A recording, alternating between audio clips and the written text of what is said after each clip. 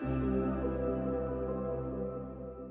going to call to order the July 15, 2021 uh, meeting of the Delta Protection Commission and thank all who've joined with us this afternoon. And we have a pretty full agenda. So with that, I'll call the meeting to order. Um, are there any announcements that the clerk needs to make, Erik, before we get started? And I'll ask somebody, I see we have the flag salute, so we'll do that here in a moment. But is there any announcements need, need to be made? No, not, nothing we have. Okay, so with that, um, if um, we have a flag and uh, if you'll rise in your place of Zoom and we'll, and I'll ask Nancy, would you lead us in the pledge? Nancy Vogel, please, Commissioner Vogel. The process 10 to 12. I, here we go. I pledge allegiance That's not what to the To flag the flag of the United States of America and and to to the the republic republic for which for which it stands, stands, one one nation, nation, under under God, God, indivisible, indivisible, with with liberty liberty and justice. and justice for all. Got it. Good, good, very good. That was pretty much in unison too. And, you know, so thank, thank you, uh, Commissioner Vogel. I appreciate it, Nancy. Okay, with that then, let's go ahead and uh, do the roll call to uh, uh, formally establish a quorum and uh, to our clerk. uh, Thank you. Um, Justin, if you could help mute everybody while we do roll.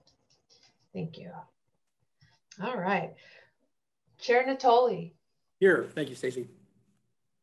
Vice Chair Winn. Vice Chair Winn. Commissioner Villegas. I know he's coming in a little bit, so Commissioner Burgess.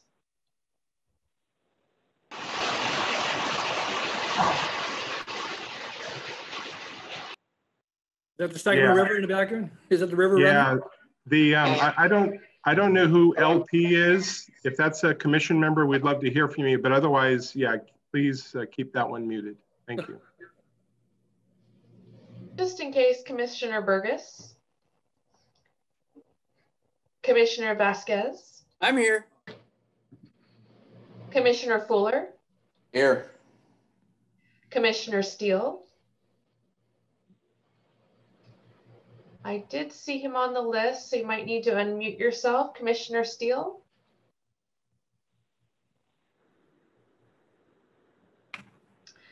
Oh Yeah, I'm here.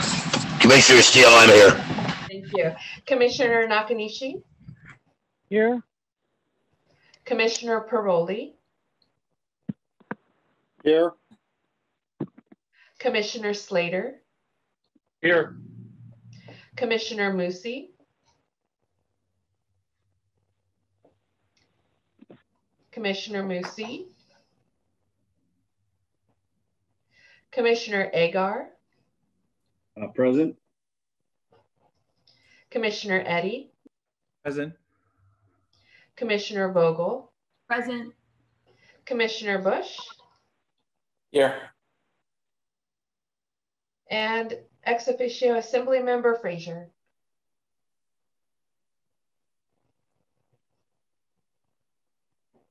Okay, thank you.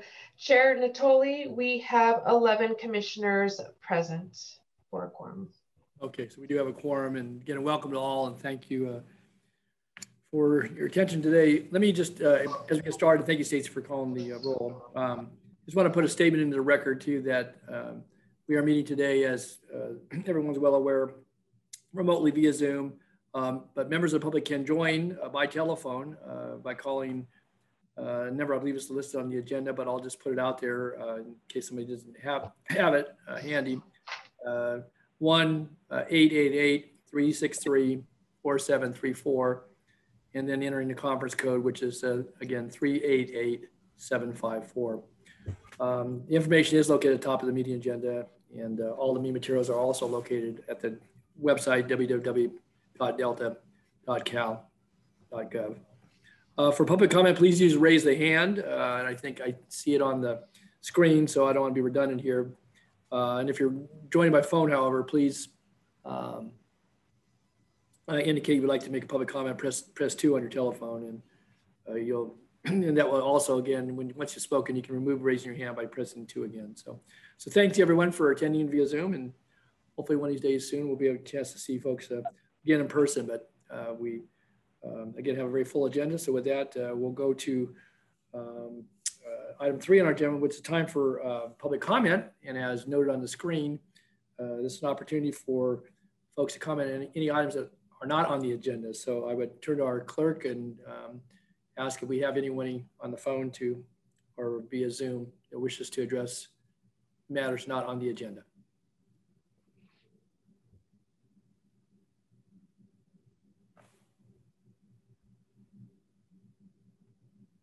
Do we have anyone? Uh, no hands raised. Okay. All right, thanks, Justin. My apologies. I didn't realize I was on mute. Oh, very good, Stacy. Okay, so again, for those that are public, anybody that's following us, this is your opportunity, not on the agenda items. And if if I no one comes forward, then we're going to keep moving down into the uh, regular order of business. So, Stacy, anybody raised hands? There are still no raised hands at this time. Okay, very good. Okay, thank you. So quickly moving down the agenda, um, item four, um, time for the chair to make any report on Delta Stewardship Council activities. Um, uh, by way of a brief uh, note, um, the uh, Stewardship Council is was in session this morning and will be, again resume session tomorrow. Uh, the bulk of the agenda is uh, devoted to uh, consideration of the appeal on the Lookout Slough item, and there are some other items at the end of uh, that item uh, tomorrow that will be taken up relating to um, contracts with, uh, for additional support for the Independent Science Board and um, also um, working with the um, collaborative efforts that help get the word out for efforts uh, that the Stewardship Council is involved in through uh, working with the Association of Bay Area Governments. And then we will also have a lead scientist report and pretty abbreviated agenda um, uh, due to the uh, length of the uh, of, of, the one item. So that's all I have, unless there's any questions by my colleagues about uh, anything else. Uh, I assume in, in August we'll um, have a you know a full agenda with other orders of work on there. No, I don't see no no questions or any further comments. So with that, then I'll move down to item five, which now is opportunity for commissioner comments or announcements. So any member of the commission have announcements or, or items you wish to put forward? By I may, Mr. Chair, this is Sure. Dennis Agar with Caltrans. Yes, Dennis. Go ahead. Yeah, um, uh, good afternoon, um, commissioners. Uh, just a couple updates I wanted to share that may be of interest uh, to the commission uh, with Caltrans. Um, one is I normally would provide a uh, update to the Delta project map. Uh, that has not been updated since the last time we met, so those are still valid. Uh, the one thing I do want to share, and, and maybe I can send the link through the um, chat uh, to the to the clerk, um, uh, a portal, a project portal page that is accessible to the general public for all of our Caltrans projects that are going across the state. There's actually even access to a virtual map, uh, GIS, uh, which provides uh, a lot of information on our projects. Uh, like I said, in, in, in Caltrans that are planned uh, or um, uh, programmed at a certain phase of a project. So I'd like to share that with everybody. There is a, a link to get to those projects if you're interested beyond just our Delta map. And the other, other update I wanted to provide uh, is some of you may have seen uh, Caltrans uh, effort on the July 7th statewide uh, media event that we held for the Clean California Initiative. Uh, there's a lot of work that uh, Caltrans is doing to date in regarding kicking that off. For District 10, just for the information, we did hold our own specific uh, Clean California um, a media event on June 24th uh, with the city of Stockton, uh, the county supervisor in San Joaquin. Um, and it was a great event to, to kick that off here in District 10. Uh, if those who don't know about Clean California, and there is a cleancalifornia.org um, uh, webpage, you can get more information. I will also share uh, through the chat um, a, a two-page fact sheet on what Clean California is and the focus areas of it engaging into our communities, uh, public education, expanding our litter abatement program uh, across the state. Uh, and that includes uh, uh, enhancing our infrastructure as well with beautification projects, whether it's in our state right away or even in our local communities. there is a local grant contribution here, 30% of the $1.5 billion for the next three years uh, will be uh, available uh, through applications uh, for beautification projects on city or county public uh, space. Or uh, we have a certain amount of dollars also for beautification projects within our own state highway system. So I wanted to share a little bit more about that. Again, I'll, I'll share a two-page fact sheet for those who are interested if you wanted to know more. And I'm excited to, to just say that maybe there's opportunities here in the Delta region uh, to partner uh, for some either beautification, gateway projects uh, into uh, the Delta region. Uh, and that could be coordinated uh, with all three of the districts that fall into this area, whether it's District 4 or District 3 um, in, in our respective districts. So just wanted to share that, Mr. Chair. Thank you for the time. Great. Thank you, Mr. Agar. And that's, that's exciting and it's, it's good news and, and think sending that information forward, uh, Dennis, would be real helpful. And uh, I trust there may be some of our member entities here that will be interested in uh, pursuing, you know, some of those cooperative uh, projects, but certainly um, maybe offer some suggestions and support for those efforts. So thank you very much. That's real helpful. Any uh, other comments or questions of uh, Commissioner Agar or any other uh, items people want to comment on? Yes, uh, this is uh, Councilman Steele. Mr. Ahon, I'd like to ask you a question about that grant money you're talking about. You said that it's for uh, local and county roads. Is that, am I correct on that? Yes, uh, to expand on that, uh, again, one third of the $1.5 billion for the next three years will be allocated uh, to the cities, the counties, tribal authorities, and even transit agencies uh, to assist with this effort that we're trying to do um, across the state. And this will be handled through local uh, grant applications. And just to expand on my update, I didn't want to take a whole lot of time on this, but District 10, and I'm sure all three districts that are involved in the region are putting an implementation team together. My hope is that once I get that person on board, if the commission is willing, I would like to have that person provide a uh, presentation uh, to this commission or the right appropriate um, advisory committee here for the Delta to expand on the local grant applications and partnership opportunities here in the Delta region.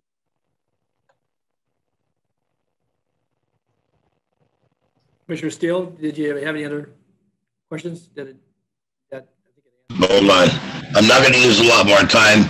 I'll just let him know. I'll, I have this recording right now, and I'll give this to my city manager and uh, try to get a hold of you about that. See if we can make something work. We have some uh, roads out here around the, uh, the city and surrounding areas around the county.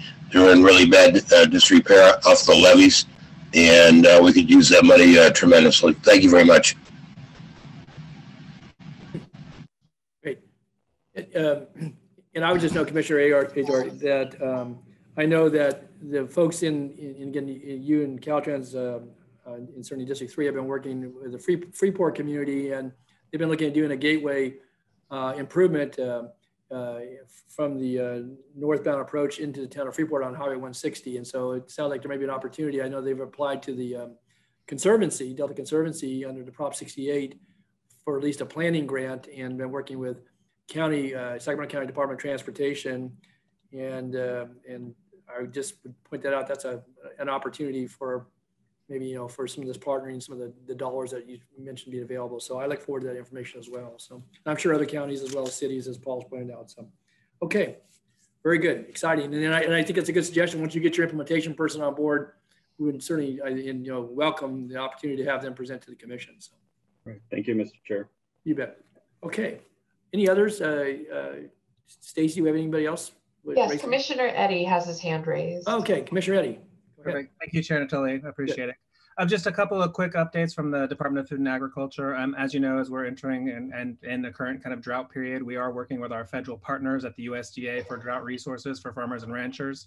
The department maintains a uh, drought website, and that's accessible from our main website, cdfa.ca.gov, where it lists all the variety of resources that your um, stakeholders are able to access in terms of helping and assisting in this, these drought conditions.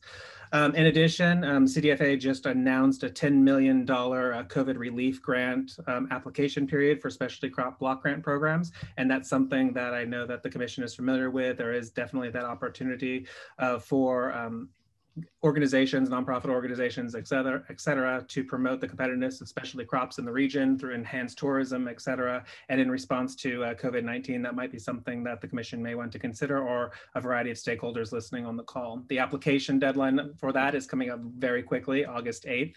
Um, and all that information is also available on our website and I can share that information with um, the executive director as well.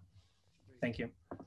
Thanks, Josh. Yeah, that's something with that short deadline, and we want to try to push that out. Uh, Erik, uh, is that something we can get pushed out to some of our partner entities and uh, folks that are on our list? Yeah, yeah, we can put it through our normal channels, but also do a more targeted approach for people that we think would have a particular interest in. Okay, very good. Thanks. Thank you, Josh. Appreciate it, Commissioner Eddy. Okay. Others? We have no hands raised.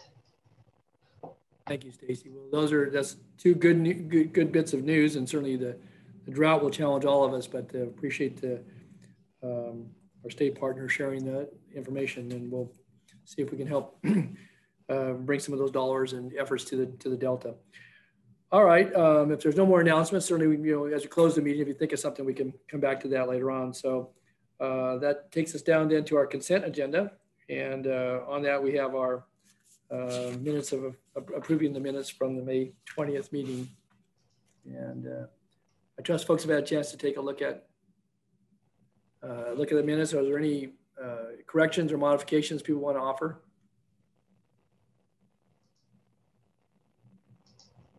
Okay, sounds like you got them all right, Stacy. You got 100%. I'd love to take credit, but I can't take credit for that one. Okay, well, whoever take, well, whoever's done, taking the minutes did a good job. Okay, with that then, uh, uh, do we have any public comment on, uh, the consent item? Anybody raising a hand? No, we have no hands raised at the moment. Okay, then, uh, Chair would entertain a motion, uh, for approval. So move Villegas. Second? Second, uh, Agar. Okay, good. All right. Motion by Commissioner Villegas, uh, second by Commissioner Agar. And, uh, if there's n- no comments or questions, then this will require a roll call vote. So, uh, with that, um, please call the roll. Chair Nottoli, Aye? Vice Chair Winn, Commissioner Villegas, Aye. Commissioner Burgess,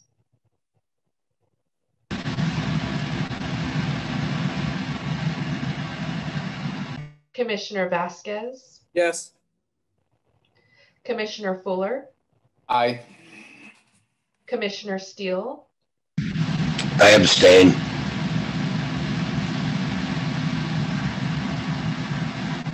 Commissioner Nakanishi,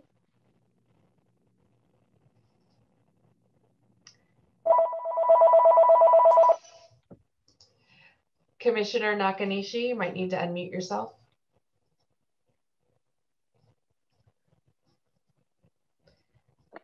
Yeah, it, it's star two, not, I'm sorry, pound two, Commissioner Nakanishi.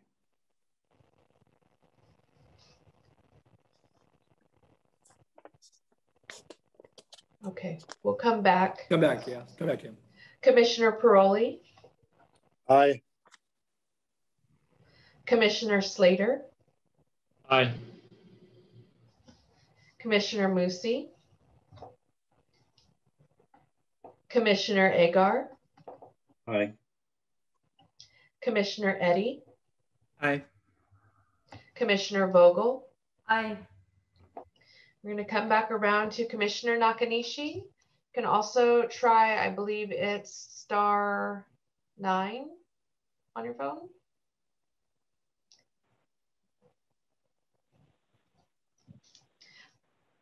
There we go. And, and Commissioner Bush as well, uh, Clerk Hayden. Thank you. I see Commissioner Nakanishi trying to come up. Do we have a vote from you? All right, and Commissioner Bush? Yes. Thank you. Okay. Chair Nottoli, we have 10 yeses and one abstain and one commissioner having some communication. Yeah, and we, we, we, we can, we can hold it open. It's been approved, but if Super- Commissioner Nakanishi gets, um, connected so he can uh, register to vote, we can, I would just do chair's discretion, hold the vote open if he wishes to register a vote on the, on the minutes, so. Okay, um, but we did have enough for approval. So with that, let's, um, go to the executive director's report then, and uh, Erik, turn it over to you. Great, thank you, Mr. Chair and commission members. Um, Just a few things I will highlight from my written report. Um, The Delta Conveyance Project, uh, as probably all commissioners know, DWR is still proceeding with a preparation of an environmental impact report that is anticipated in April or May of 2022. Um, On broadband, we're working toward an application for federal funding with two local consortia and still encouraging Delta residents to take the CalSpeed test and report their internet speeds. And that's real easy to do with the CalSpeed app that you can download on your mobile devices. Uh, the Great Delta Trail Commission staff uh, surveyed the community on trail preferences. That uh, input will be folded into and will help inform the draft master plan, which we're expecting by this fall. And we anticipate coming to the commission for review at the November 2021 meeting. Uh, moving to internal matters, the commission, uh, uh, we're a half month into fiscal year 2021-22. And as of July 1st, the Department of General Services is now handling our administrative support functions under contract. And we also wish to specifically thank the great team that worked with us for many years at the State Lands Commission. And Commissioner Bush, I, I'm sure you know, but we're greatly appreciative of all of the great support we received from the State Lands Commission team and um, we're uh, getting to know a great new group of support members at the Department of General Services. And speaking of Commissioner Bush, I don't want to steal his thunder, but one great outcome in the uh, budget deliberations, I think it was in the baby budget bill, not in the main budget bill. And I, I meant to check, I don't even know if this has yet been signed into law by the governor, but I think it's pretty well secure, is $12 million for the State Lands Commission to support abandoned and derelict vessel removal in the Delta. And I'm sure that Assemblyman Frazier had his uh, involvement all over that issue. And for that, we thank him. Um, and if Commissioner Bush would like to add anything at the conclusion, um, that would be great. But as we learn more details, I think that's an item that would be of great interest to many commission members. And we will report that back at future meetings. Uh, the land use comments and upcoming events are included in the report. I won't highlight those. Um, I do want to highlight the metrics from both social media and the websites and pay particular note to the fact that visitcadelta.com has had a pretty dramatic uh, increase, a more than doubling from the first quarter to the second quarter in visits to that website. Um, it's not a bot, it's all for real. And we suspect that's because um, you know, people are looking at the Delta as a potential recreation location as we head into summer. but it's just been a very dramatic increase in website traffic to that site, which of course tickles us uh, tremendously. And we hope that uh, that will just continue to grow in the future. Again, visit cadelta.com. Um, I think that covers it. I we don't want to say anything more about Lookout Slough because our chair is here.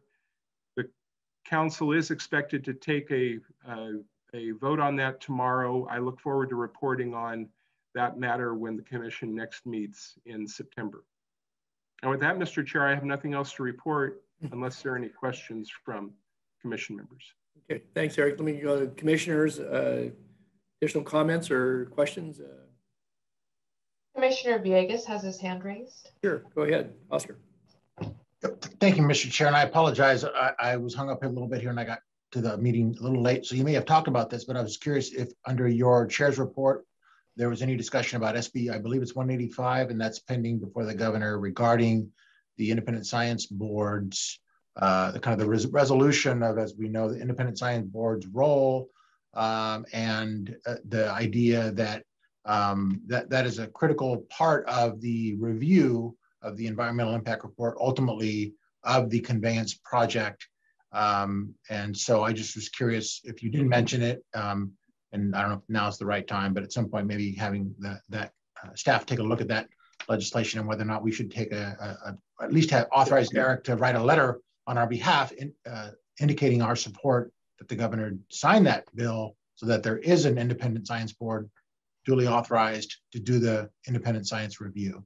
Good, point, Oscar, uh, is Commissioner Villegas, and, and I think Erik could give an update. I, it's SB 815, I believe, and it, um, it is, I believe it's been sent to the governor under, and it has an urgency component to it and sets a rate uh, of compensation and so forth. But um, uh, yeah, I, I, think that's a you know a reasonable thing for us to consider. It's not agendized, but certainly through our staff we could give direction, and I think it's a matter of that you know is very timely. So Erik, maybe you could weigh in and to Commissioner Villegas's uh, uh, point, but certainly to the question about um, providing appropriate support. That's um, yeah. The the bill number is SB 821.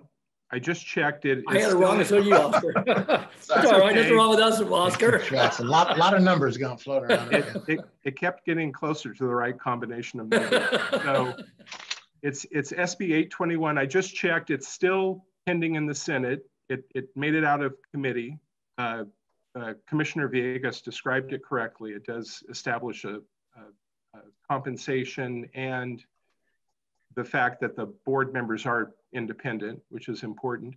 It is an urgency measure, so if it does um, continue to make its way through the legislature and if the governor signs it, it will take effect immediately. Um, in retrospect, that probably would have been a great item to add to this agenda for a position on behalf of the commission. Um, I don't have the uh, legislative calendar memorized off the top of my head. It could be that the governor will already, now I don't think he will have acted by the time, necessarily by the time we meet in September. So we could certainly put it on the agenda for that meeting for a commission consideration of taking a position on that bill and be able to relay that position if it's not already law at that point. So we'll, we'll continue to monitor it and um, if it's appropriate to bring it back to the commission in September, we'll certainly do so. And my oversight completely, that would have been a great item to have on the agenda today. So let me ask, do you, uh, um, on, on matters such as that, even if it didn't reflect, I know sometimes you're able to, you know, uh, certainly respecting the commission's, you know, authorities and role to uh, send a letter of, of, support. In this case, is that outside the, the, the scope, again, assuming the commission, again, I don't want too far on this and counsel can advise because it's not agendized, but question was asked. And so I don't know, Erik, is that something that you have broad enough authority on, or is that something when it comes to legislation that you would actually have to agendize to have us? Uh, I, I would tend to put that on the agenda. I always like to speak officially from the commission members in endorsing legislation. And of course, we have an item on the agenda today that would just do just that for some federal legislation. Okay. But um, if, if counsel um, Mejia would like to weigh in on this, I'd invite him to, but my, uh, my approach has always been for legislation before weighing in on it, unless it's a well-established position by the commission, is to bring it to the commission for specific disposition. And uh, this is uh, Deputy Attorney General Carlos Mejia, the Commission's counsel. Uh, that's certainly a fine approach, and I don't think uh, there are too many legal considerations in following it. Okay. Well, I, again, I, I, think to Oscar's earlier point, though, and, and I, you know, if it's an urgency measure, I don't know, you know, as it moves through the, the legislative process, but I think to be timely, and I think it's important. Again, obviously, still we have to, to the commission to determine, you know, what, uh, if any position we wanted to take either in support of or or or not. Um, but again, I know we hold the alternate dates, and again, I don't want to burden people's time, but um, you know, it, it, may be that in August you, we could have a brief meeting that can be a one a one item agenda. And again, I don't again, again I want to be cognizant of my colleagues' time and commitments to, to this commission's work, but um, it, it, it is important. It's a, you know, I, I would I would want to stress what my colleague Mr. Villegas said, and I think others know this as well. But so I, if that's something again, I, I would just put out there, Erik, that if timeliness is is a, concern, um,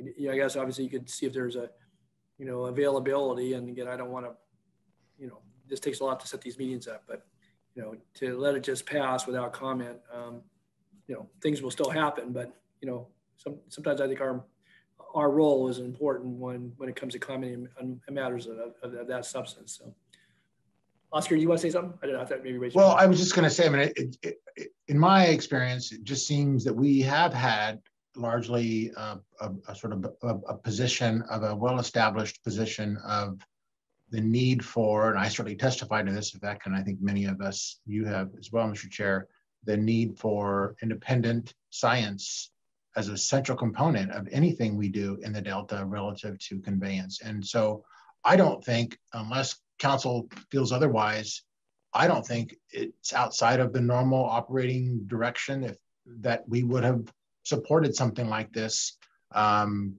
without an action. I mean, in a perfect world, yes, an action, but I'm perfectly comfortable with Erik representing what I think is sort of standard operating positions that we have taken from the, certainly the last eight years I've been on this commission, um, uh, it would have not been outside of the normal path that we would proceed. I mean, this is independent science review of an environmental document, essentially dictating conveyance seems to me straightforward and certainly consistent within what we've always been operating in. So. Other thoughts, commissioners, and, and again, uh, counsel? Uh, yeah, any, maybe look for a little guidance here um, on whether, obviously Erik you know, suggested where he prefer, but is it appropriate? Again, I don't want to get a scans on the agenda here, but. Um... Uh, Chair Nottoli, this is yes. uh, Carlos Mejia again. Yeah, Carlos. Uh, it's certainly appropriate for the executive director to send a letter on the commission's behalf. Uh, I might suggest uh, that the executive director indicate perhaps that uh, the letter has not been formally approved by the council, uh, or excuse me, by the commission in a vote on a notice agenda item, uh, but certainly he, he's well within his uh, authority to send a letter on the commission's behalf with those caveats. Okay, thanks, Carlos. Erik, you're comfortable with that then? Um, no. I, I, actually, what, what I would prefer to do is um, and we can have further discussion now. I, would prefer to confer with the chair. I, truthfully, I would be more comfortable even if there were a very brief special meeting and it's, don't worry about the effort on our part. It's really just a question of whether we can convene enough commissioners to make it happen. But I, I, I, I really would favor a formal weigh-in by the commission. I mean, a letter that says, I'm sending this from the commission, but the commission didn't take an action on this um, I don't know. I'm just it. It doesn't feel like, it doesn't feel like a good approach to me. And um, okay. And and so. Um, all right, that, that, that's right. Commissioner Vasquez, did you want? No, I was going to say it doesn't have much meaning. Okay. Back in so, the commission itself. All right, well, again, if commissioners are, are, are, again, irrespective of what the position might be on this, are, are willing, again, recognizing availability might be um, a little um, challenged. Uh, I don't think we have to wait until our, we can call a special meeting. There's a process for doing that. We could do it with a one item and, you know, try to hold ourselves to 10 or 15 minutes, uh, certainly allowing for any public comment. But um, I, I guess that's the route. And again, I, you know, as chair, I certainly would make myself available and, and uh, would hope my fellow commissioners, unless there's any strong objections to that, I think it's important enough. So Commissioner Steele, did you want to weigh in? Why did you punched up? You're on mute, Paul. Yes, I wanted to say that, uh, why don't we just take care of that now? Why do we have to have a special meeting? We're all here right now. I don't, I don't think it's properly agendized, Paul. That's the only thing. If we're going to take a formal action, it needs to be, there needs to be a certain notice, uh, as much as we might like to. I, again, uh, uh, Carlos, um, he, our uh, counsel could advise us, but I think that would probably be stretching it quite a bit. So, Uh, uh, Chair Nottoli, this is Carlos Mejia again. I, I would concur with your assessment. Again, I'm just trying to save time on this. It doesn't seem like a really big issue. But if you want to do it that way, I'm available. okay, thanks, Paul. Eh, Other commissioners, uh, let me, I want to make sure you're included in conversation here. Anybody else want to weigh in? Uh, I'll weigh in. Commissioner Fuller? Yes. Um, I've had my hand up for a little bit. Oh, I'm but- sorry, George. I didn't, I, I I got, Stacy has to let me know, so, okay. No, yeah, and, no. and actually, I'm so sorry, but Commissioner Bush has had his hand up for a very long time. Oh, okay, all right. So- All right, well, we got Commissioner Fuller, he's punched in, I mean, and, and, and uh, Commissioner Bush following him. I, I apologize, so interrupt me, Stacy, if I can. Okay, get on here. I will. All right, O- Okay, thank you. Yes, and Commissioner Bush afterwards, but I, I agree with uh, uh, Chairman Vink, the Director Vink, as to holding on to it. Uh, It needs to be agendized. You're talking about a letter involving science. Uh, The public needs to look at it. The scientific community needs to look at it. We need to weigh in on it and have a, a debate. Uh, We're not just sending up something we already done once come up, and I'm not criticizing or doing anything else, but I don't want us to get a rec- uh, reputation of just sending things up. Oops, well, we haven't looked at it yet and approved it, but this is this is our position, and I would much rather be formally even coming back to a special meeting and sitting down and and discussing it and make sure that uh, uh, people who may have a uh, intense interest in the science had a chance to weigh in. So. Thank you, George. Commissioner Fuller, thank you very much for your comments. Okay, Commissioner Bush.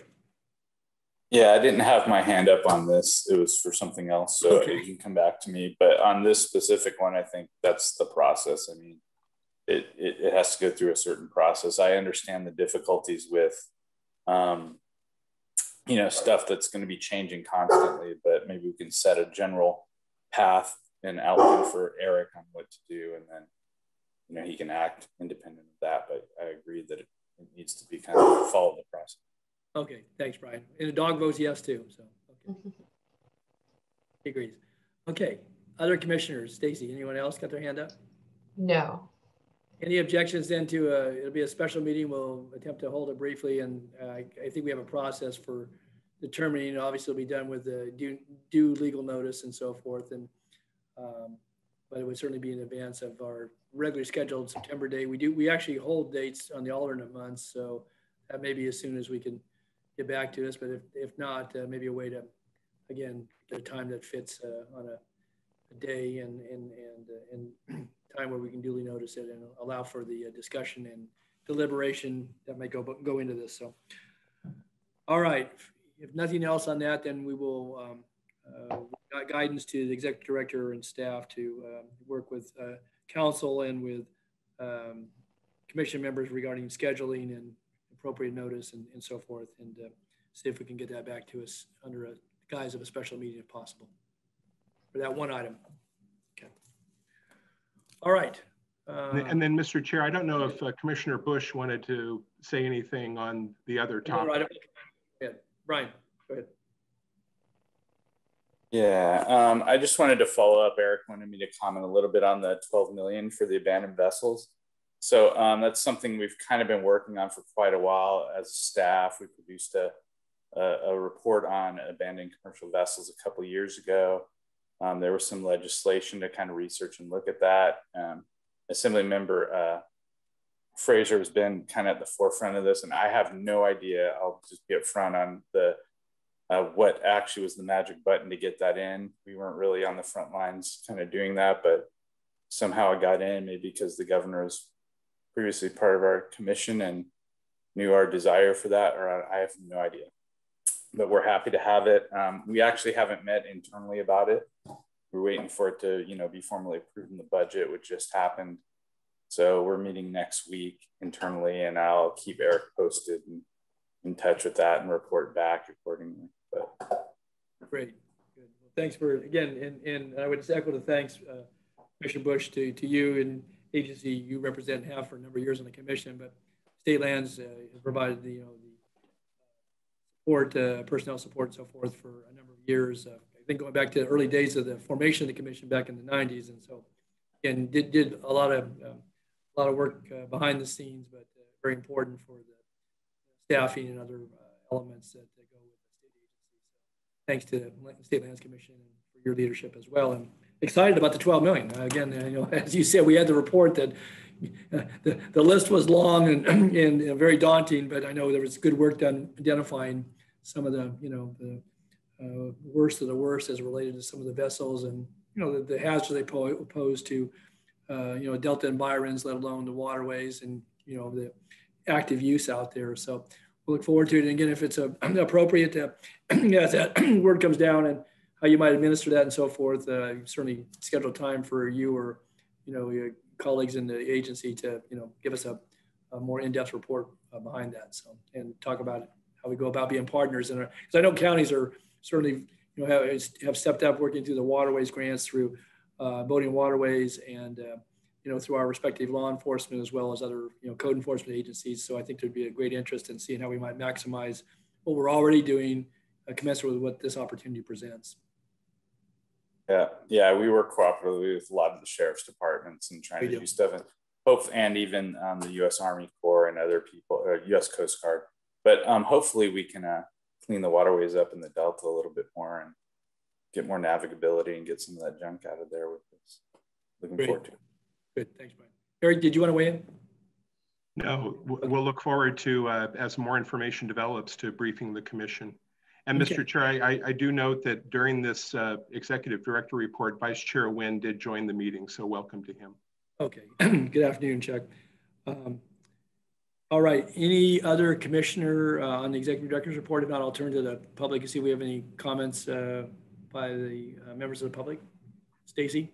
There are no commissioner hands raised and maybe give them a moment, but I do not see any members of the public raising their hand either.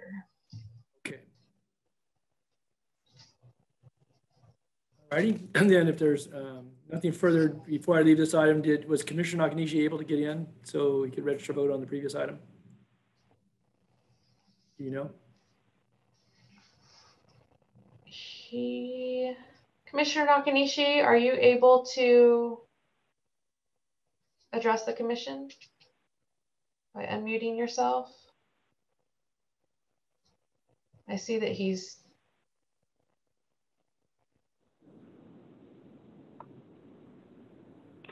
Yes, Commissioner Nakanishi. Hi, Alan. Are you there? I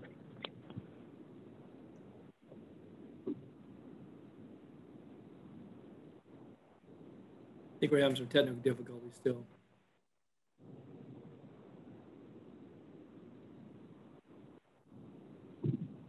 We, we can hear his background noise. Commissioner Nakanishi?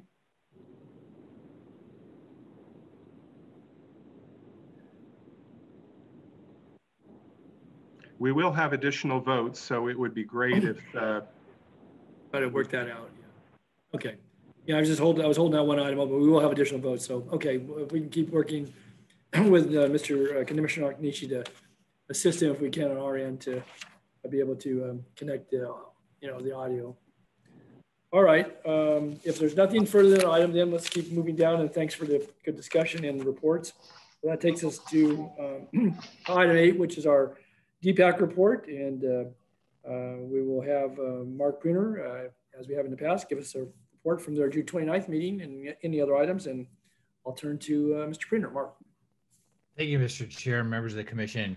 Yes, DPAC met on June 29 uh, for normal, uh, in this case, nearly two hour meeting.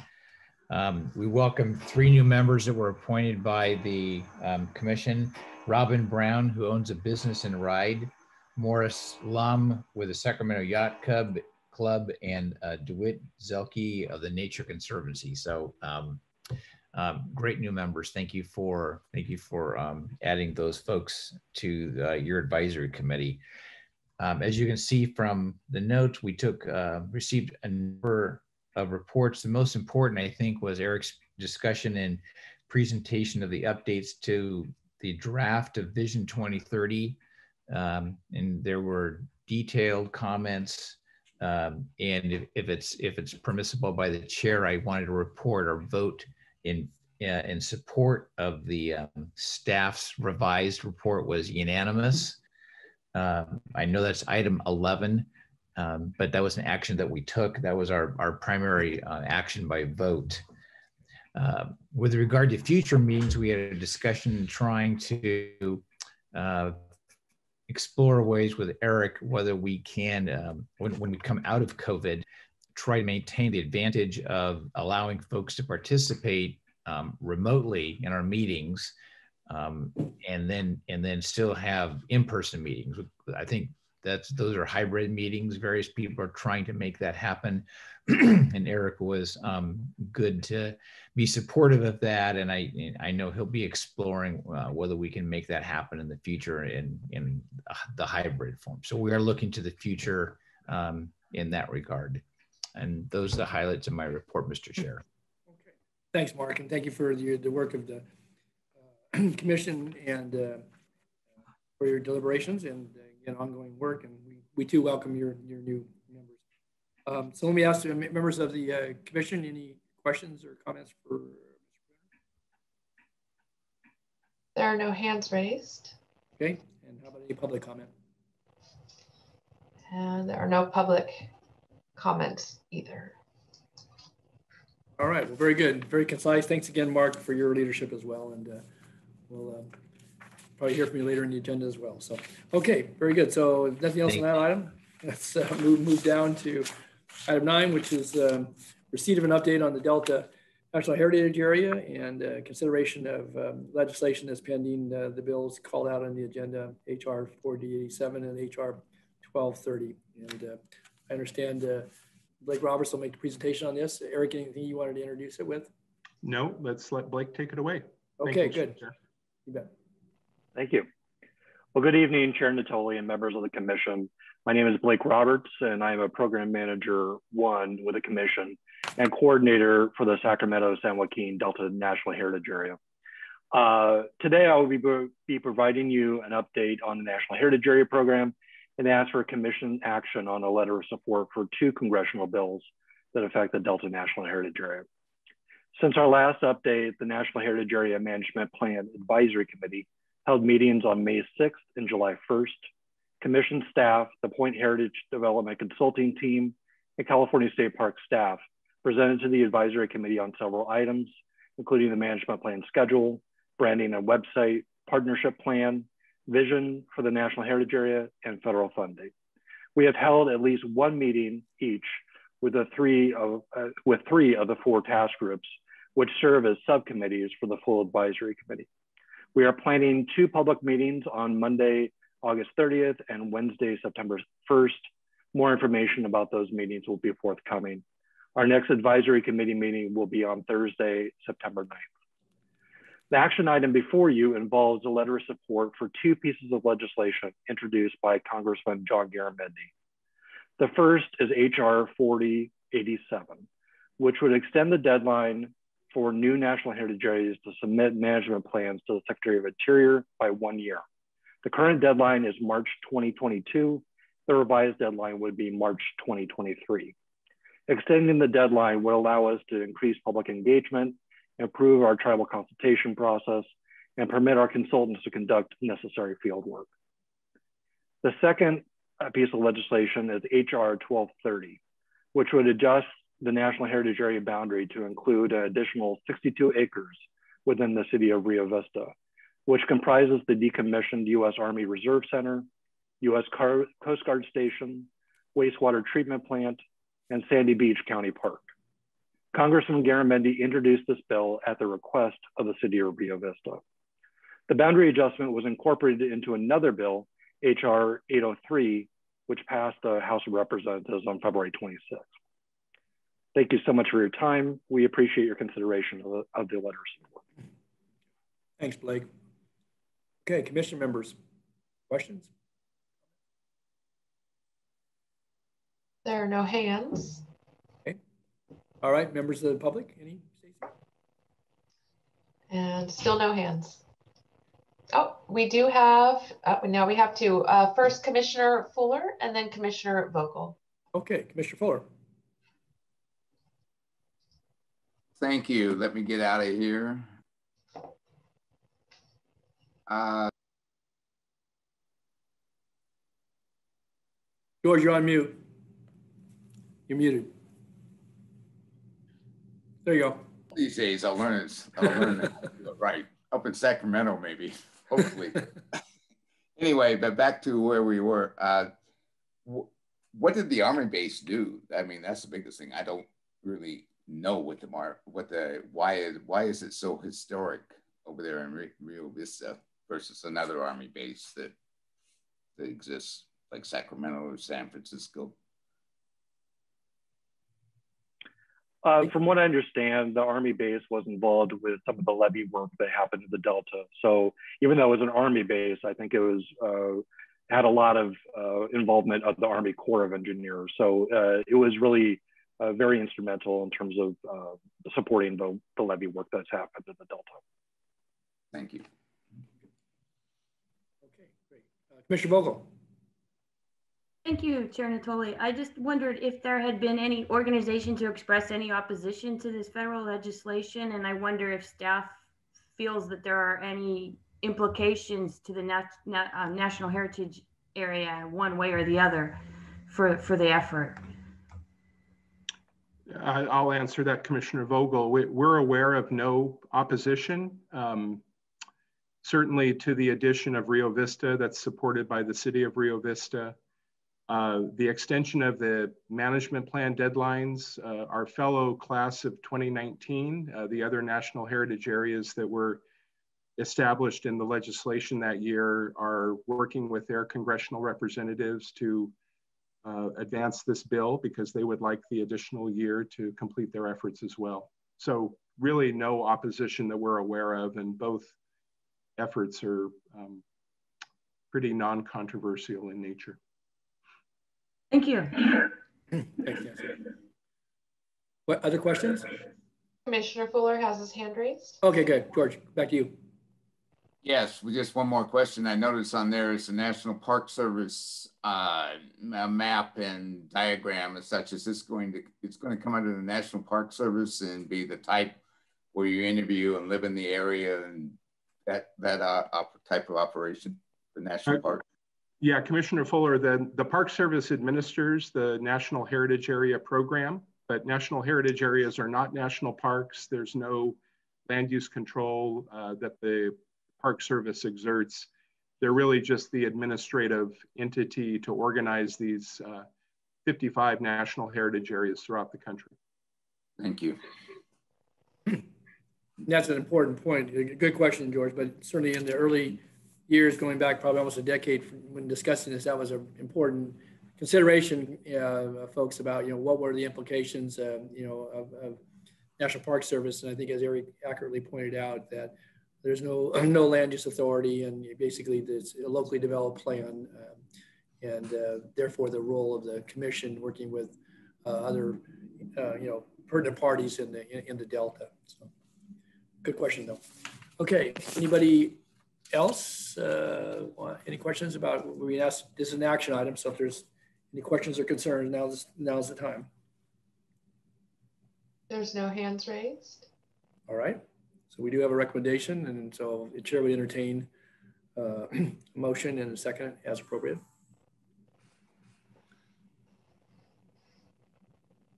I'll move it. Uh, second, Villegas. Okay, so moved by Fuller, seconded by Villegas to uh, uh, offer letter support for the uh, legislation as, as, as reported on. Further comments? Then uh, we'll ask the clerk to call the roll, please. Daisy. Thank you. Chair Nottoli. Aye. Vice Chair Winn. Yes. Commissioner Villegas. Yes. Commissioner Vasquez. Yes. Commissioner Fuller. Aye. Commissioner Steele. Aye. Commissioner Nakanishi, have you been able to join audio? Yes, I'm Okay. audio. Thank you. Okay, great. And, and do I have a, was that a yes vote as well?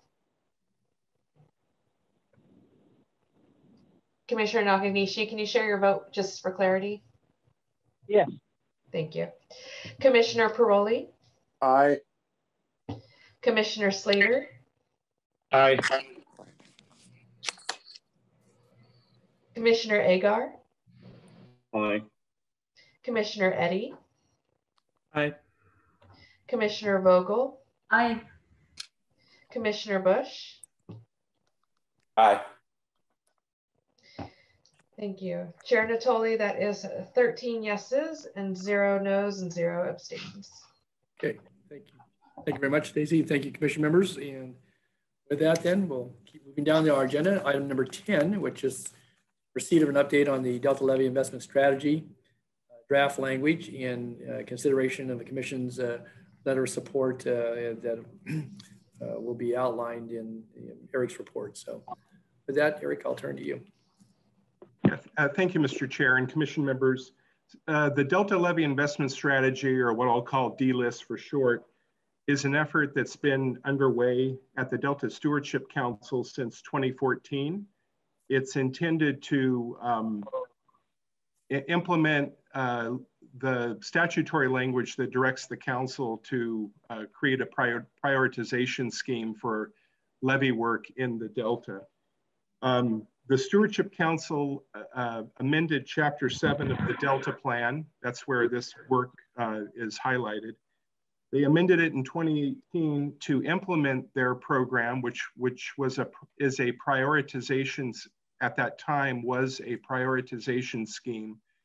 And it actually included tiers that named specific Delta islands and tracks. And so uh, you literally were in a tier, either the highest tier, the second tier, or the third tier. Um, after the council adopted that prioritization uh, scheme in 2018, they rescinded that action and reverted to the previous policy in 2020 to allow the council staff to incorporate new elevation imaging data, what we call LIDAR data that was completed by the Department of Water Resources. That work is largely complete and the uh, council staff expect to propose both revised tiers and request approval to proceed with rulemaking at the August 2021 Stewardship Council meeting. Now, the reason I've put this on the agenda is that the commission has weighed in on several occasions, including a 2017 letter from commission members that argued for improvement of all Delta levees to a base standard. A 2019 letter from your executive director, from myself, expressing concern over the definitions of levee rehabilitation in particular, and specifically that levee rehabilitation would be subject to prioritization under DLIS, even though it was funded by the levee subventions program. Uh, and I think that's an important distinction because our understanding throughout the Stewardship Council's deliberations on DLIS has been that they would not subject levee subventions efforts to the prioritization scheme. And that's really why I have uh, proposed this item on the agenda and have the proposed draft letter to Stewardship Council Chair Tatayon and members that I'm asking the commission's approval of this afternoon. So that the commission, uh, by action of commission members, can be on record with the uh, view that levee rehabilitation, which um, at the risk of simplifying levee rehabilitation, let's just say it's repairing a levee that has been damaged or even including a breaching of a levee. And I know there are uh, Stewardship Council staff members on the meeting, and I would uh, welcome them to correct me if I stated that incorrectly. That levee rehabilitation should be considered part of levee operation and maintenance, such as is funded by the levee subvention program, and not part of what is called in the definitions levee improvement, which would be subject to the prioritization scheme. And I keep saying subject to the prioritization scheme. I, I hope I've been clear, but maybe I haven't. That means that the Stewardship Council's um, uh, directive is that you improve levees in the first tier before you move to subsequent lower tiers uh, for the uh, expenditures of money to improve delta levees. It's not an absolute requirement that that take place. There's the ability for DWR, who administers these levee programs, to argue for why they deviated from that levee prioritization and present that rationale to the council. But the intention is you prioritize tier A before you prioritize tier B, before you prioritize tier C. So I hope that wasn't too convoluted. That all leads to the draft letter that is in the commission meeting packet that I request your approval of, that if approved by the commission would be transmitted to the Stewardship Council. Importantly for this meeting, that it's transmitted in advance to the council taking up that matter at their August meeting and providing direction uh, to their staff on how to proceed with uh, presumably taking that out for public review and comment. So that's the request, Mr. Chair, and uh, hopefully uh, background that uh, uh, is sufficient to uh, aid the understanding of this item. Okay, thank you, Erik. So let me uh, turn to commission members first, and then we may have other members of the public and or um, other parties that want to weigh in on this. Um, so commission members, questions or comments? Commissioner Slater has his hand raised. Sure, Tom. Yeah, uh, Mr. Chairman, I, I think uh, Erik did a very good job of explaining that. But in a nutshell, the RDs and the the LMAs, the levee maintenance areas, agencies, certainly within North Delta, and I suspect all the way up and down the Delta, don't want to be precluded from from doing those repairs because of the clause in the DSL, uh, whatever that acronym is, the investment strategy. So, so I think that's Erik. Is that the crux of the situation that that we just want the language? I don't think we have arguments or disagreements with the stewardship council, or we can we can address those later on. But that is what the LMAs and RDs are concerned about: is the inability to function under the subvention program because of this language. And um, yeah, well, is that that how you get it, Erik? Yeah, it, it really gets to whether there's uh, funding support for those actions. So there's nothing that says a reclamation district acting entirely on its own could not proceed. It's just, it has to do with funding um, from the DWR levee programs. That, so, and I, I just didn't include that, yes, to, so yeah. that we can uh, utilize the subvention program like we've been doing which is funding. And it's been an outstanding program and one that has saved our lives, and we continue to, to uh, ask for support for that. Thanks, Commissioner Slater. Appreciate this. Okay, others. I do not see any other commissioners with their raised hands, but I do have Melinda Terry raising her hand. Okay, all right. There's no other commission members. We certainly come back to commission before we take us up for a vote, but uh, that will go to members of the public and other interested parties. So, to Linda. Hello. Hi. I just wanted to uh, thank the commission for uh, staying focused on this topic and uh, say that we support the letter and appreciate it. Thank you. Thank you, Linda. Clerk, any other hands? Yes, we have Erin Mullen. Erin. Hi, thank you for giving me the opportunity to, speak. Um, my name is Erin Mullen, and I am a senior engineer with the Delta Stewardship Council, and I am the um, primary uh, person who's been working on the DLIS. And first off, I would like to uh, send, extend my appreciation to Erik for giving me the heads up um, about this being on your agenda today. So um, I appreciate your collaboration and reaching out and letting me know that this was going to be on this was going to be a, a topic. Um, I, it is definitely the council's intent to, uh, to, to, I'm trying to think of the way to word this. You know, when there was a lot of discussion about rehabilitation when we went when we went through the rulemaking process the first time around and it seemed that it just ended up becoming more of a confusing issue as opposed to a clarifying one. And so in this process, in this second time around, we've actually removed the phrase rehabilitation from the pri from the prioritization. So just just the the activities that are outlined that are subject to the prioritization does not include rehabilitation.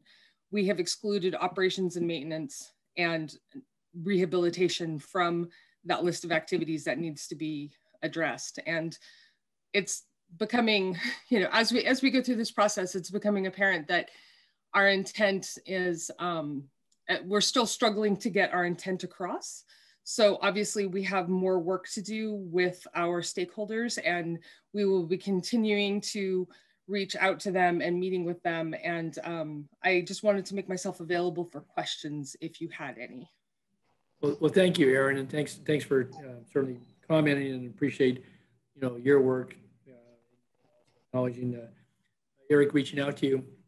Maybe I could just ask you. So, by being silent and not excluding you, is it your opinion or staff's opinion that that addresses the issue as you've heard it presented here today. And I would certainly I'd ask the same of Erik, but uh, it sounds to me like that that uh, by making no specific reference, then there's some presumption that things are you know retained. Going back to Commissioner Slater's point that you know, you know I say business as usual, but that that program that is uh, so integral to um, you know levee rehabilitation and work that goes on in the Delta with our reclamation districts and other um, you know, other, other parties, but certainly the RDs. so I guess I'd be curious to, to, you know, if you could just elaborate briefly on what you think by leaving it out as part of the, you know, recirculation of this. And I'd like to hear Erik's comment on that as well. Of course, actually, thank you for, yeah. um, thank you for getting the opportunity to clarify on that. When I said, I, I guess I should back up a little bit. When I said I le- leaving it out, um, it, when we what we left out was a was a definition of rehabilitation. We had um, that was one of the proposed definitions that we were going to add to our glossary. And in this second process, we have removed that, and that was that that was work that was part of work that we had done with the flood with the flood protection board and DWR and trying to align our definitions with theirs and their stance on OMRR and what that meant in relationship to um, their obligations with the flood board. So, um, you know, one of the things that this regulation needs to do is it needs to be able to kind of straddle both of the project and the non-project um, funding systems. So that makes it a little bit tricky because the regulations and the rules that govern each of those systems are so different. And the state's interest and responsibility in both of those systems is very different. Um, the other thing that i wanted to mention is that we um, i know that there's been some there's been some distress that we have not specifically left out the program, the subventions program, but it's been our intent with the way that we wrote the legislation or the proposed the draft regulation, I should say, is that we are speaking to activities and not programs. Since program names can change, um, programs can, new programs can arise, programs can go away. I understand that subventions is in statute and it's unlikely to go away anytime soon, but we wanted to make sure that our uh, draft regulation was clear and um, and it addressed all of the potential activities that could be happening in the Delta, whether it happened under special projects or under subventions, or a new program that um, DWR's flood management develops that is, you know, maybe particular to the project levies. So that is why we do not speak specifically to subventions. Um, in, in the draft proposed language, we do specifically state that operations and maintenance is important and it should continue and through, throughout the Delta. Um, and I, I don't have it, the language right here in front of me, but um, I could email it to, I can email it to Stacy and she could get it to the, get it to the commission. But it was part of our May, um, it was part of the, um, the May staff report that we took to the council. So it is it's it is public knowledge, um, and so I it we like I said obviously you know we we still if there's still concerns out there we still have work to do by um, to help people understand that it's not our intention to get in the way of operations and maintenance and rehabilitation with this work. So um, it's, it's just going to have to, we're just going to continue to have to have this conversation and, and do the outreach. So I hope that is clarifying. Yeah. Thank you, Erin. Uh, Erik, did you want to respond? Yeah, um, I, I, appreciate uh, what Erin said. Uh, for commissioners uh, reviewing this letter, um, I'll draw your attention to a sentence and I'll read it out. It's in the third paragraph of the letter, and it's really the crux of the letter. It's toward the end of that large paragraph. It's the third paragraph. And here goes. As proposed in the staff draft regulations, meaning the council staff's draft regulations from January 2021, certain levee rehabilitation activities presently funded by the subventions program would be subject to prioritization under Delta Plan Policy RRP1. So I appreciate what Erin said, but the current definition in those staff draft regulations is far too narrowly drawn and overly restrictive. And truthfully, it's not consistent with the discussions we heard occurring at the council throughout the preparation of the DLIS, which was subventions program is not going to be subject to the prioritization scheme. And unfortunately, this would subject parts of the subventions program to the prioritization scheme by creating a very narrow definition of levee operation and maintenance. Okay. Thanks, Erik. Um, other commission members? You know, Commissioner Villegas, I know you were on the council at the time this was first circulated and certainly I know I've tracked it. Anything you wanted to add? Yeah, no, Erik's absolutely right. We, we need to absolutely make sure that this prioritization scheme does not interfere with in any way the the subvention. I know it can't control it, but we, we need to do our job in ensuring that we're putting on the table every concern that we have so that it doesn't interfere with or morph into chipping away at limited funding for the districts to maintain the levees the way that they always have. We know they can leverage you know, a dollar into a hundred dollars doing what they do. And they do that very well. There's no question about that. So I, I don't think that's the intent of this promulgation process, but we just need to continue to make sure that we're doing, as Erin said, kind of continue to have this conversation because that's just, it's not, it's not negotiable from our perspective. That's just, it's too precious uh, in terms of levee protection. Okay, thanks, Oscar. Other commissioners? We don't have any commissioner hands raised, but we do have Gilbert Cosio. Sure. Okay. Go to Mr. Cosio. Gilbert. Uh, thanks you. Uh, thank you, Chair Nottoli and the members of the uh, commission. I just want to add a couple of things. Um, so Erin, Erin's correct. You know, was, was the intent, and, and the last rulemaking made it real clear that the in intent was not to hinder the subventions program. What's forgotten is that embedded in that subventions program is the um, is Water Code Section 12981, which states that the the Delta should stay in the same configuration it is. That means all the islands up, you know, trying to keep as many levees up as we can. And also embedded in that is implementation of at one point was called the Delta Plan, and that's Bulletin 19282. Uh, when, when the legislation was drafted for the subventions, that was the intent that we had a plan. Um, it, was, it was a joint plan between the Corps of Engineers and Department of Water Resources.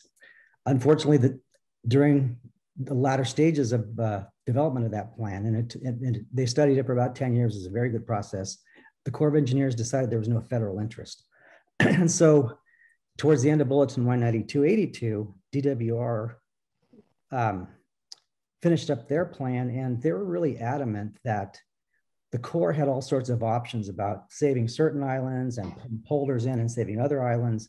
And DWR and Director Robie at the time was really adamant, no, we're trying to implement Water Code Section 12981. In fact, you can look at Bulletin 19282 and you'll see that there are letters from Director Robie to um, the federal government saying we've got to keep these things up because of the interconnection of all the levees and you can't have one levee failure pulling a piece out of the puzzle. It, it'll kind of ruin the whole house of cards there. So um, in what I'm saying is embedded in that um, subventions program is a little more than people think.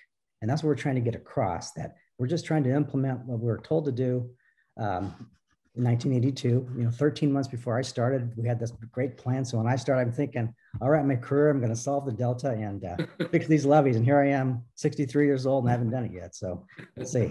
But that that's what's happening is that there's more embedded into what we call delta levee subventions than than the very basic spraying and grading of levees, graveling, that sort of thing. It involves trying to reach our goal, the intended goal of the state uh, of, of, Water Code 12981 and Bulletin 9282. Thank you. Thanks, Gil. Thanks for that background. It's important. Okay, uh, Madam Clerk, any other members? If not, I'm going to bring back the commission. No, there are no hands raised. Okay, thank you, uh, Melinda and uh, Gil, both your comments. So I'll bring it back to the commission. We have uh, the uh, staff recommendation before us with the letter. We've had discussions, uh, heard from uh, Ms. Mull on behalf of the Stewardship Council as well. So uh, what's the pleasure of the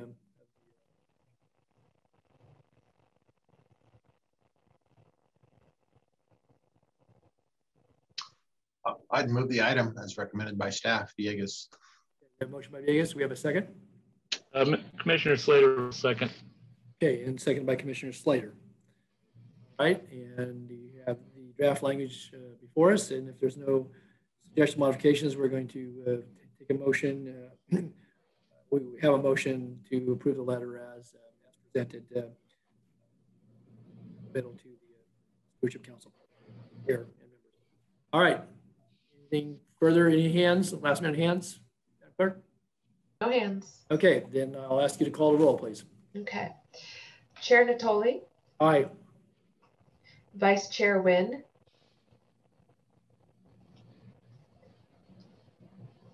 Vice Chair Winn, you may need to unmute.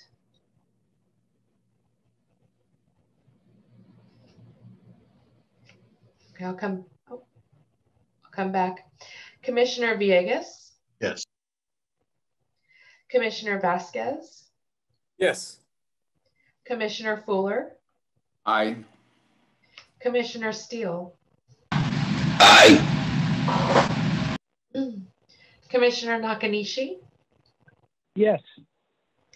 Commissioner Paroli? Aye. Commissioner Slater? Aye.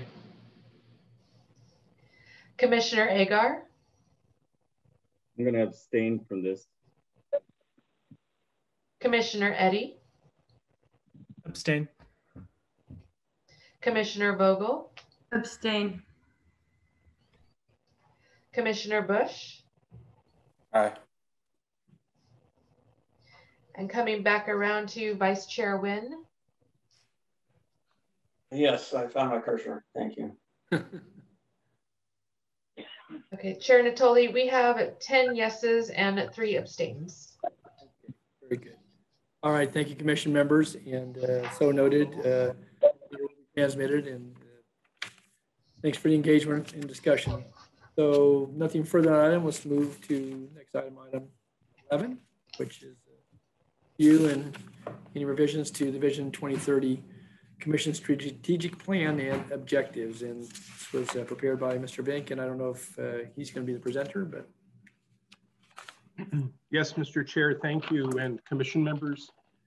Um, Vision 2030 is the commission's strategic plan. It was adopted by the commission in May of 2015. In November of 2020, the commission staff undertook a review of Vision 2030. We had discussions with the Delta Protection Advisory Committee, and we sought comments from Delta stakeholders. Uh, based on that review, we decided that the only thing that really needed uh, re revisiting in Vision 2030 were the strategic objectives, the mission statement, the vision statement, all the background information still was relevant.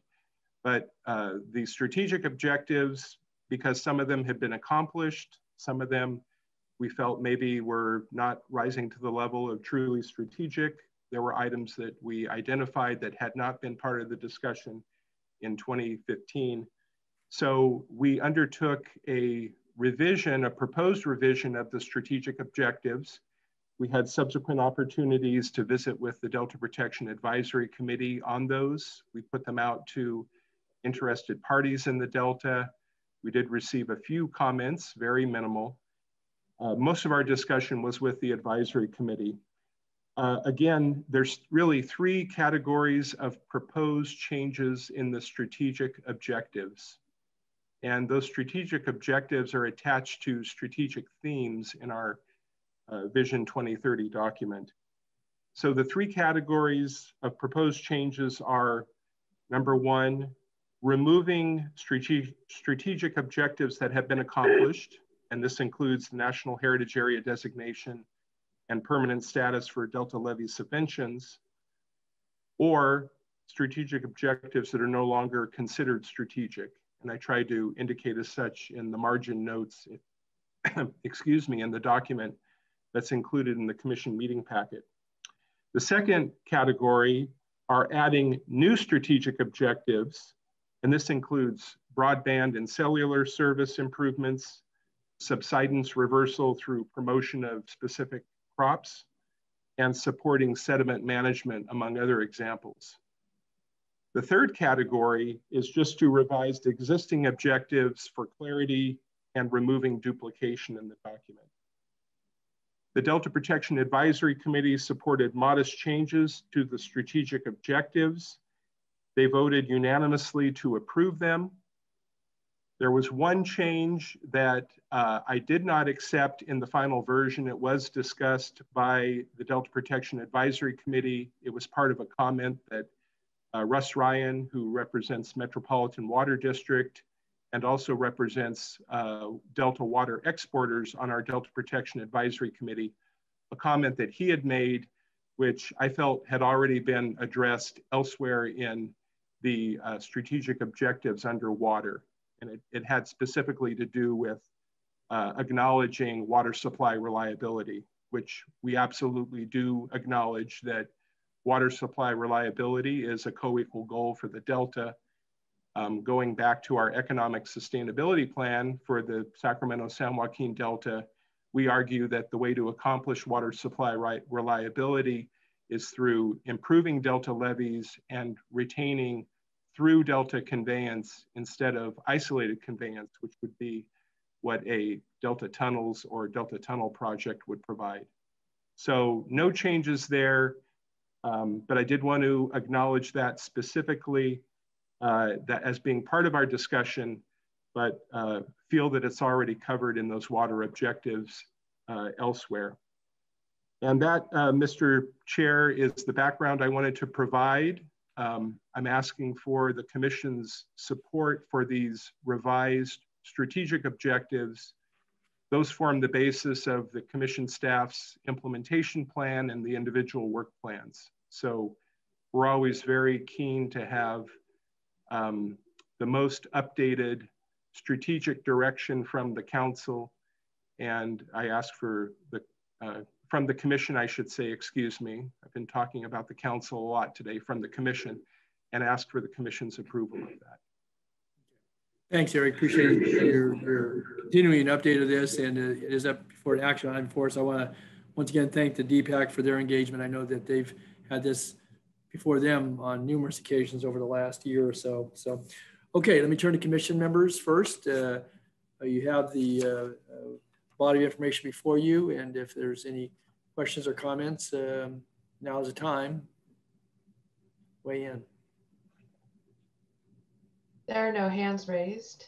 Okay, no hands. So let me turn members of the public. Stacy? And no hands raised there either.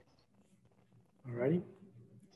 So with that, I bring it back to the commission. Again, if there's no further, you know, no comments or any questions, we do have the recommendation before us, and again, a motion would be in order.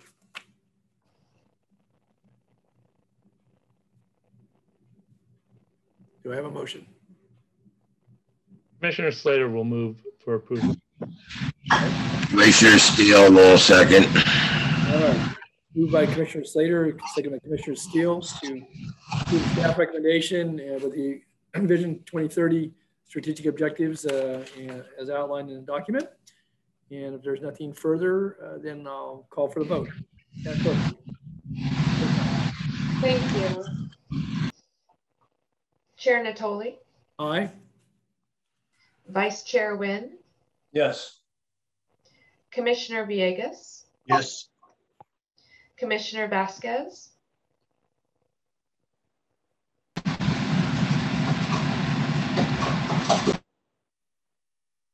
Commissioner Vasquez? Yes. Commissioner Fuller? Aye. Commissioner Steele? Aye. Commissioner Nakanishi? Aye, yes. Commissioner Paroli? Aye. Commissioner Slater? Aye. Commissioner Agar? Aye. Commissioner Eddy? Aye. Commissioner Vogel? Abstain.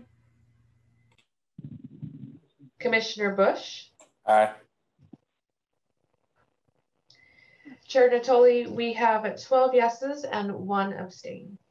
Very good. Okay. Thank you, commission members, and thank you, Madam Clerk. So with that, uh, we'll continue to move down to our agenda.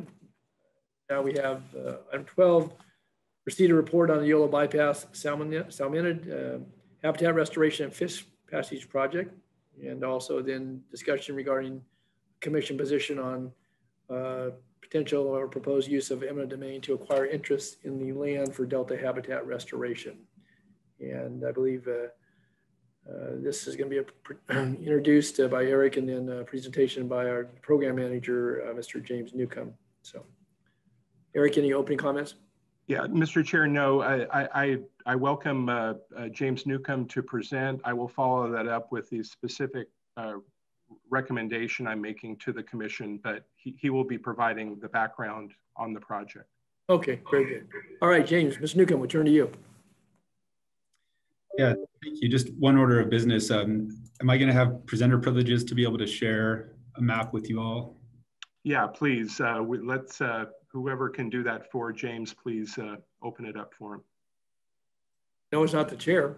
I lose the graphics right now. Yeah, we'll, we'll get we'll get that pulled up, James. If uh, well, actually, we'll we'll let um, yeah Justin or Stacy just let him know when he should be able to do that. Okay. Well, first off, uh, thank you, Mr. Vink, for the invitation to present, and also thank you, uh, Delta Protection Commission, for the time. My name is James Newcomb. I'm an environmental program manager that manages riverine restoration actions for the State Water Project for Department of Water Resources. I'm here today to provide a cursory overview of our project purpose, the project development, and our easement needs. Um, our project has a long history. 12 minutes isn't, isn't really ample time to go into great detail on the background of our project but DWR is happy to come back in the future if, if the desire is there. So just James, getting. Yeah. You can bring up your PowerPoint now. Okay.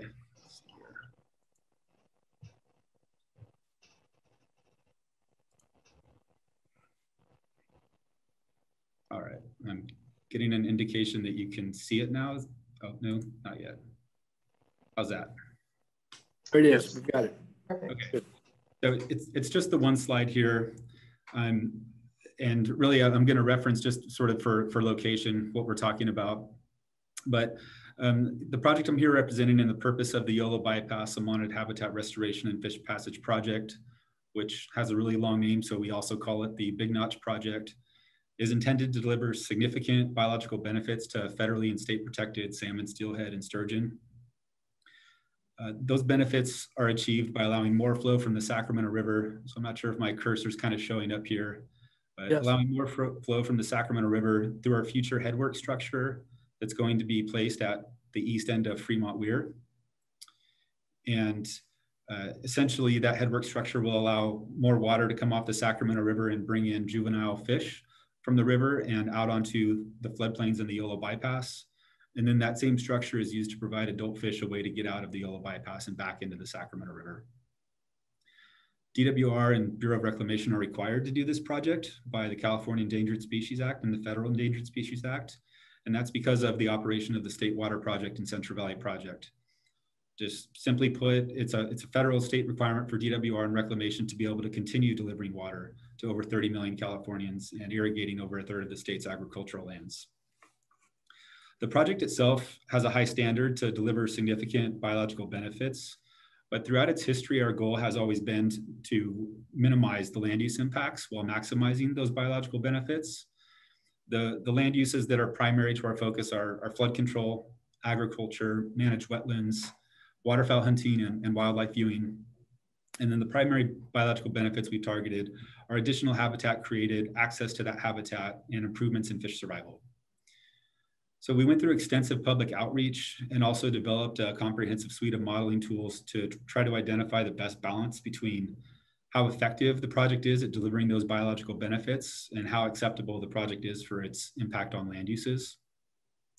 Uh, I think that strategy is represented in the alternatives we looked at. So we looked at alternatives twice the size, which delivered significantly more biological benefits, but the impacts to recreational uses were correspondingly larger.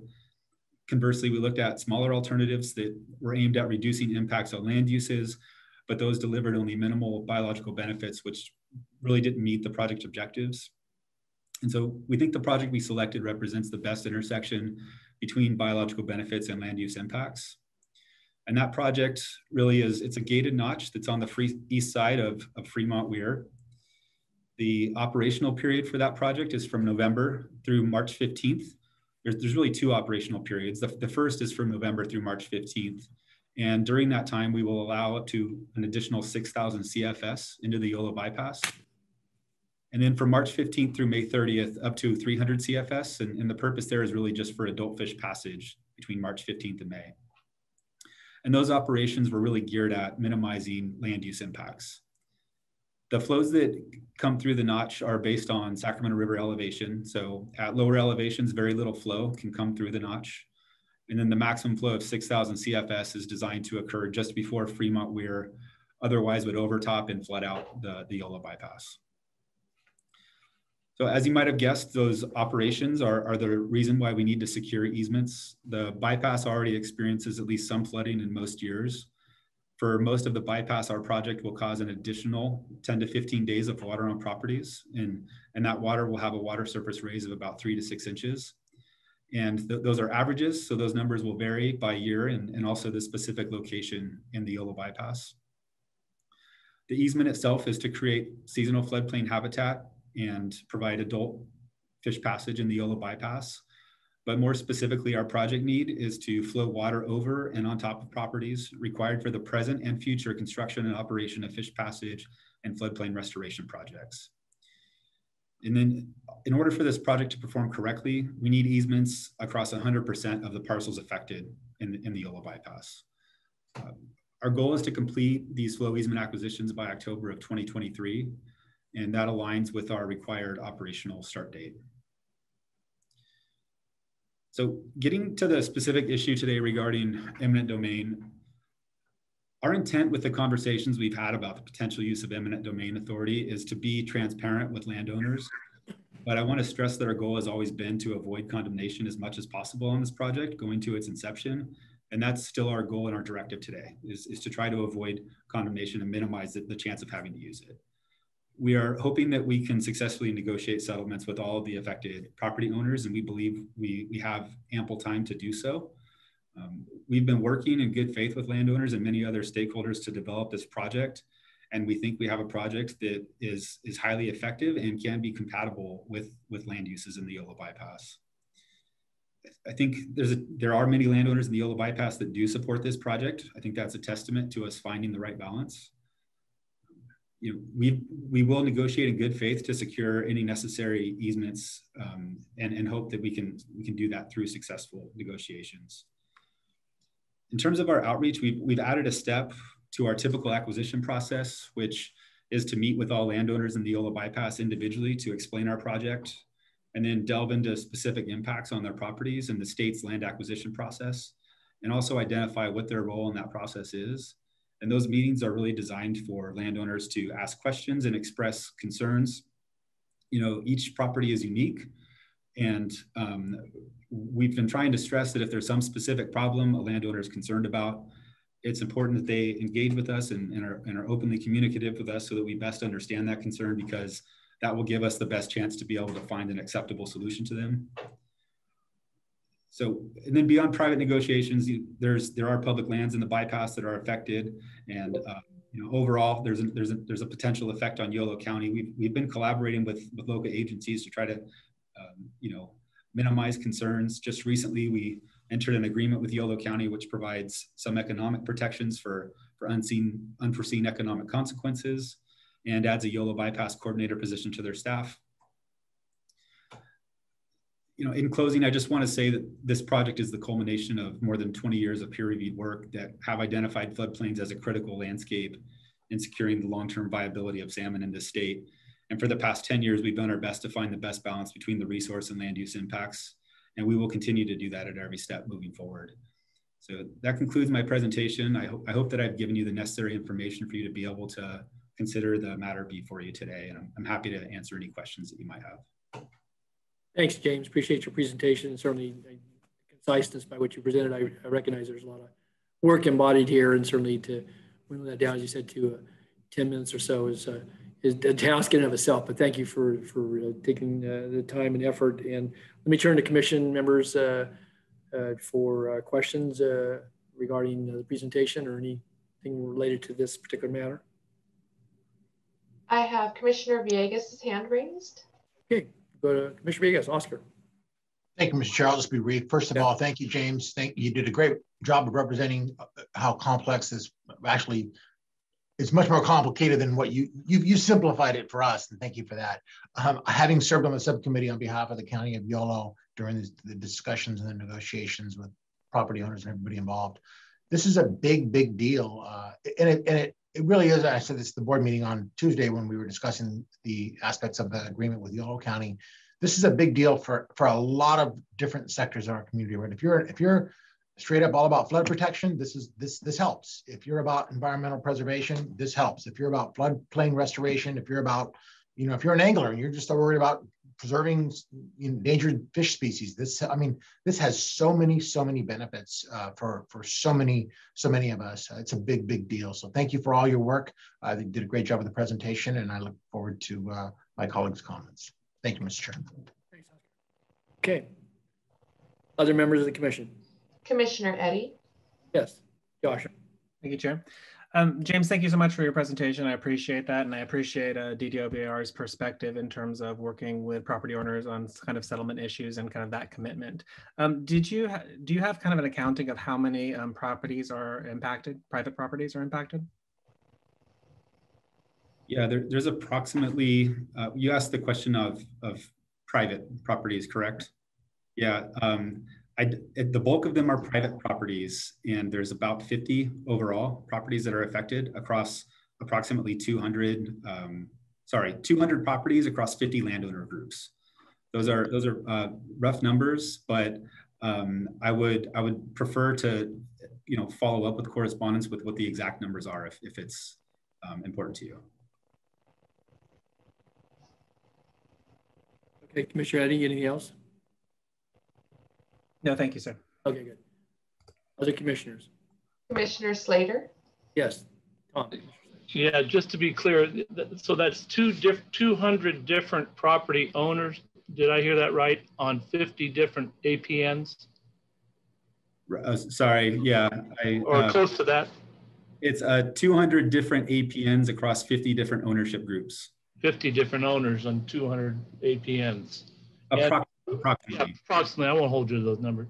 So would you, it, the location of the majority of those or all of those or a portion of those, are they south of something?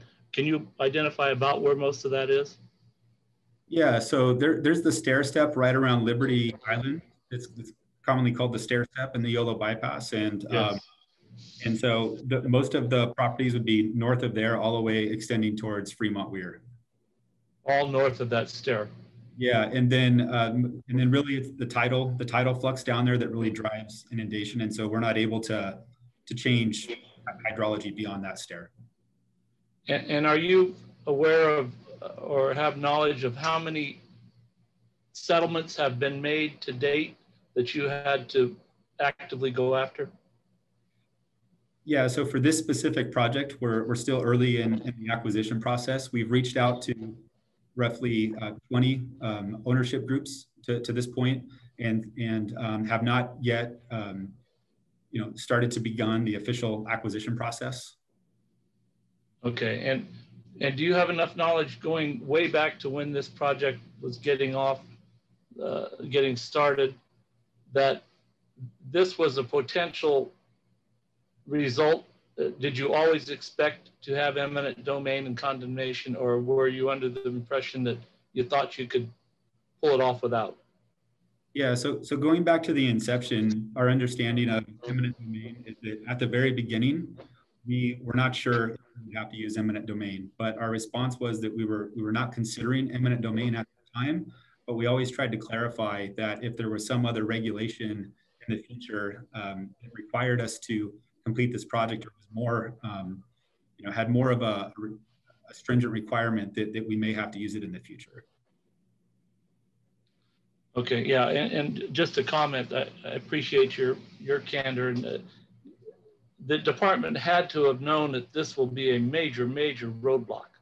Uh, not just because, not because of any other reason than eminent domain is not, not something that any landowner likes to think about. So I guess I don't have any more comments. I appreciate the, the knowledge and, and then everything you've uh, informed us to date, but um, I, I will vouch for all those landowners. It's going to be a tough road. And, and one that I, I don't think, well, I'll, I'll hold, refrain judgment, but that's just something that's not going to sit well. But and I know you guys know that, or I hope you do. Thank you, though, very much. Yeah, you're welcome. Is it okay to respond just briefly to, to that? Sure. Go ahead. Yeah, yeah. And so, um, having been on the project team at the time, I think I think there was a lot of uncertainty about the, the project that might be selected, and we cast a very broad net. And um, by having that goal of trying to minimize land use impacts, we looked at a lot of different creative solutions in terms of trying to do that um, including some properties, if properties wanted to participate versus not wanting to participate. And after getting through the, the modeling and screening tools, you know, we learned that the projects were not delivering the biological benefits that they needed to to meet our goals and objectives. Thank you.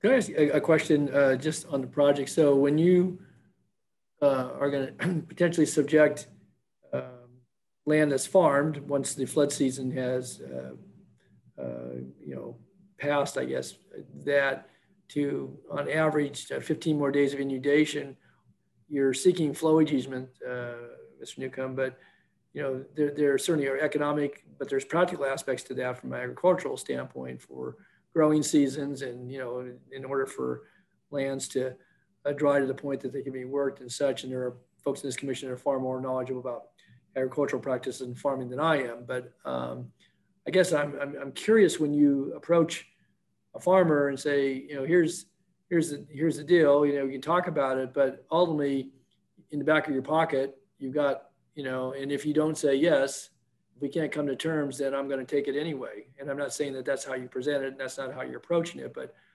that's pretty, you know, coming back to, to uh, you know, Tom's point a moment ago that um, that's a pretty stark reality, recognizing all the benefits that, you know, Supervisor Villegas called the Garden Project. And obviously Yolo County has been working very closely to represent its folks and certain all the various interests here. But, um, you know, again, you're going to go to folks who have farmed some of them for generations there and recognize, you know, impacts that have come with the weir and passage of, of floodwaters during certain seasons and certainly certain years. But um, I guess I'm just curious as you've talked in your team, you know, and, and again, it's not you directly, but you're going to have folks of, you know, land agents that are going to go out and, you know, make the approaches, try to do it cooperatively. But if you take eminent domain, you know, you already got the answer in your back pocket if, if people don't come around. So I'm, again, that that's a balance. I get it, but I'm just I'm just curious about, you know, because I think if people really going in, you may meet resistance just because of that. Because then then I think people did say, you know, well, you know, and it's, you know, whatever the merits of the project are, whatever the impacts, but you know, the government approaches me and basically telling me that they're going to get it one way or the other. I'm just curious because again, that's a different, you know, it's, a, going into it, it presents a different, you know, kind of aura to to the project, irrespective of the tremendous benefits that would accrue. Um, yeah, th thank you for that comment. Um, I, th I think I understand, you know, um, the, the very important point that you're making there. Um, with, with, you started out centering on the agricultural community and um, DWR recognizes the the importance of, of Yolo Bypass for, for its agricultural history. Um, one of the key things that, that we worked through public outreach and stakeholder outreach and then really developing alternatives with some of the, the farm, farmers in, in the Yolo Bypass was identifying key dates. And so that is, that is the, the principal reason why we um, change operational periods on March 15th is, is to be able to have agriculture continue in, in the Yolo Bypass. Um, that was a concession that, that also resulted in you know pretty big reduced benefits to fish, um, but one that we felt we needed to make in order to have this project still meet the standard that it's acceptable to, to the Yolo bypass. Um, so I hope that offers at least some you know consolation. Um, you know, I guess I can I'll just stop there. No, no, I, I appreciate it. So, so you, you, settle on a date by which you the, the, waters would no longer pass through there, and there's drying time, and then uh, preparation time, and so forth. Obviously, it has a net impact on the rearing grounds for the for you know for the fish, um, but it also then provides farmers what you're saying. What is the date now? What, what's the current date by which uh, you have to cease passage? Yeah, so the, the current the way the system currently works, it's completely passive. And so Fremont, Fremont Weir is a 1.8 mile wide uh, yes. weir that's just gravity overflow. Right. Um, and, our, and, our, notch is about 180 feet wide, you know, in that weir, but it's deeper. So we'll have some control over the stages below Fremont Weir, but there's still there's still a really good you know chance in some years that um, Fremont Weir is going to overtop in, in in some marches and, and still flood out landowners. So they'll still have to deal with that initial risk, um, but they won't have to deal with um, you know the risk of our, our project when we're operating for floodplain benefits um, after March 15th. So then just in case it was, um, because I didn't make it clear initially, is it for March 15th through May 30th, our goal then shifts to just providing adult fish passage, and we could do that at a much uh, reduced rate. And so our initial operations there is 300 CFS. Okay, so you still maintain a flow down a narrow channel uh, for fish? Correct. All right, thanks. Okay, other uh, commission members? No, but we do have Melinda Terry. Okay, good. All right, let's go to the public. I know we've got still another important item on the agenda as is this one. Okay, we'll go to Melinda. Melinda. Uh, hi, Mr. Chairman and members. Um, I just uh, want to point out that before this was uh, the Big Notch project, this was known as Conservation Measure 2 in the BDCP. I served on the steering committee, BDCP, um, on behalf of North Delta Water Agency. and I didn't take the time to bring out any of the colorful brochures that we were given, um, but they always talked about the willing sellers when it came to the conservation measures, which are the habitat um, restoration activities. Um, now, partly that was because in an HCP, um, the federal agencies require that um, typically. Um, but I guess I would say that we had anticipated that those commitments by the state would be maintained, even though it was no longer um, part of an HCP. So it does feel a little bit like broken promises in terms of the path that the state had been on. Um, and I would say that, you know, remind everybody that, well, first of all, North Delta just feels like we're the, the target for a lot of these um, biological opinion activities. And with all due respect to, you know, the state, um, these projects again benefit the export areas where water is exported out of the Delta. They don't benefit the Delta. When you do eminent domain, which wearing my flood hat, we obviously do, those levees in that case that were eminent domaining protect those locals. This eminent domain is being done to provide benefits somewhere else. They aren't providing a benefit locally like you normally do in an eminent, eminent domain project. Um, and I would just, you know, say that in addition to, you know, um, the presenter mentioned the goals and objectives of the project. Well, with all due respect, these private landowners have goals and objectives for their properties too, um, as well. And I think that really needs to be respected. And I do think that's why um, the staff recommendation that is proposed as well as the letter um, is appropriate, you know, and we encourage the, the commission to really um, approve that and, and send that off. And as it says in this, I believe in the staff report, it is consistent with what's done for the private lands on the LURMP. Thank you. Good. Thank you, Linda. Okay. Any other hands up, Stacy? No, there are no hands. All right. Then I'll bring it back to the commission. Uh, me, Mr. Vink, anything you wanted to, I guess we'll bring it back to you We've, unless there's any questions, Mr. Newcomb. Yeah, I just that that's that's all a great lead in into the requested action. There is a uh, a letter to DWR Director Nemeth that is included in the meeting packet. Um, the basic thrust of the letter is the concern over the use of eminent domain to acquire the interests in land. And as I understand from, and by the way, I do want to thank James and other members of the DWR team. They were very generous in sharing their time uh, in helping me prepare this item for the commission and sharing information about their project. Um, in, in learning about the project uh, and the intention to utilize eminent domain if necessary, and that's an important qualifier if necessary, uh, it's possible that uh, this important, that the um, interest acquired can solely be an inundation easement. I was told that in some instances there might be enough uh, uh, impact to the land that the intention would be to acquire the land in, in fee outright purchase of the land instead of just acquiring an additional inundation easement. It, it should be noted that the Yolo bypass already has inundation easements on it, but this, as uh, Mr. Newcomb stated, this would create additional inundation periods. Uh, and so that's why DWR is acquiring uh, these additional interests in land.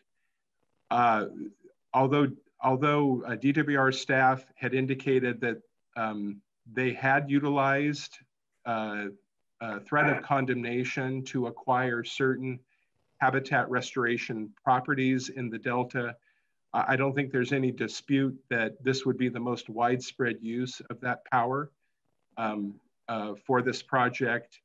And as uh, Melinda Terry stated, um, at least according to our land use and resource management plan, which I recognize only applies to local government actions and not to actions by state agencies. But if you carry forward that logic in the land use and resource management plan, we state pretty clearly a, a concern about the use of eminent domain for the activities, land use activities in the Delta. So no, uh, no uh, dispute about uh, the importance of the project. Um, the commission did provide some limited comment on this when it was going through the environmental review process, at that time, it wasn't uh, clear to us that the intention was to utilize eminent domain if necessary. If that had been the case, we certainly would have expressed that concern and voiced it in our comment letter on the environmental document.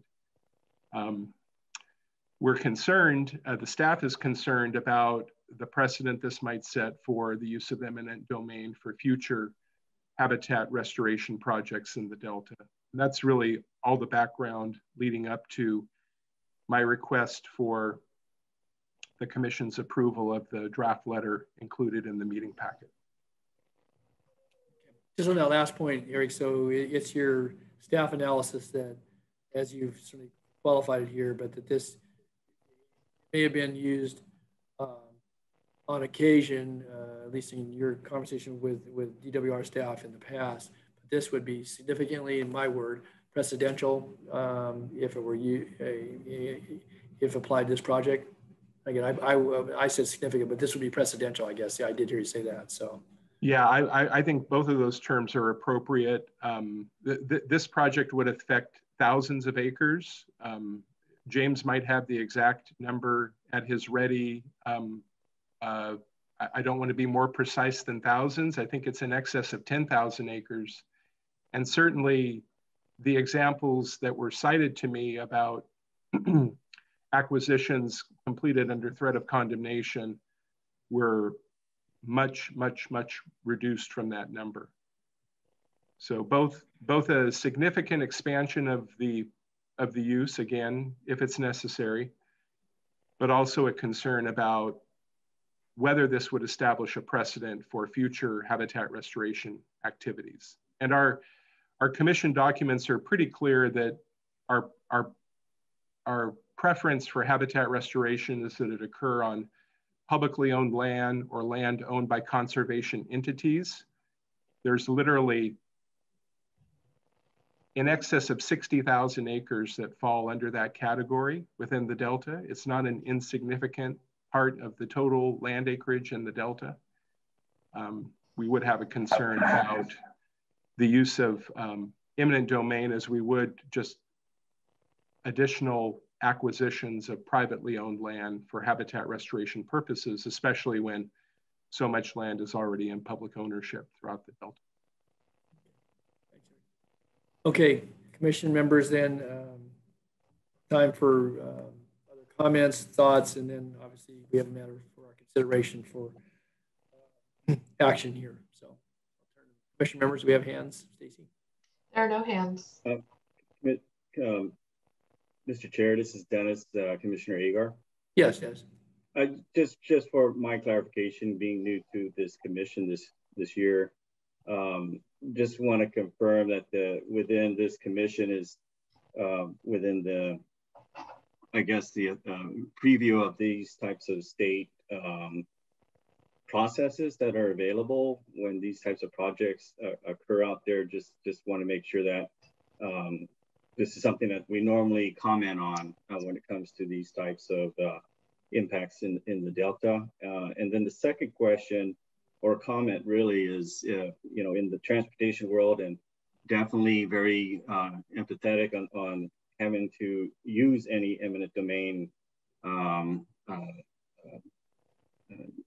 protocols to, to get very important projects done in the transportation arena. And one of the things I, I, I and I apologize, I couldn't raise my hand. I, for some reason, I don't have the raise option hand in my in my system. But uh, back to to DWR and James, uh, at least from the, the limited uh, understanding on eminent domain, uh, like you said, it's it's the last um, you know uh, result if if necessary. And again, it's almost the last thing that any state agency would do.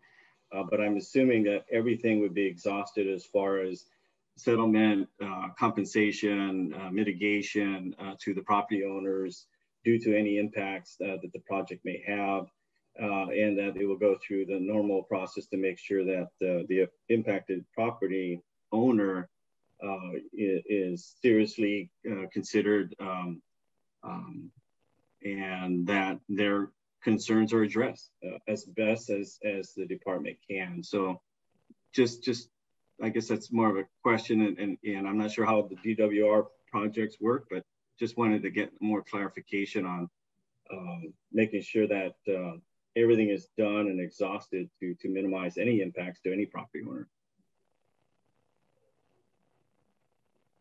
Okay. Erik, James? Yeah, so I see that our, our right-of-way agent is, is on and has his hand raised, and I, um, I'd like to yield to him. I think he might want to answer this question if that's okay. His name's Linus Paulus. It's with DWR. Okay, Mr. Paulus. Thanks, James. And, and yes, uh, it is the state's responsibility to exhaust all avenues through negotiation. We're looking to landowners to participate in the process to identify the issues, to uh, the cost to cure any damages to the property or mitigate those damages. Um, I am directly responsible for the other uh, acquisitions via eminent domain that was meant, were mentioned earlier by Erik. And I would assure you that if you contacted those landowners, they'd be very happy with the settlements they received. And this is not really setting a precedent. Thank you. Questions? We have Commissioner Vasquez hand raised. Okay, all right. John. So if there's no other comments, I certainly would move to send this letter. Staff recommendation to send this letter. I, I think it's important that we make this statement. I mean, this country is built on property rights and the right to defend those property rights. Uh, certainly, uh, we would expect the state or any agency looking to acquire property that they do all that that's necessary.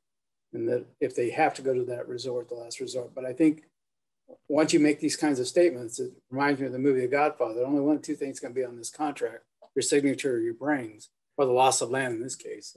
So I'm very supportive of the letter that's been drafted for us. Okay. All right, we have a motion. Do we have a second to the motion?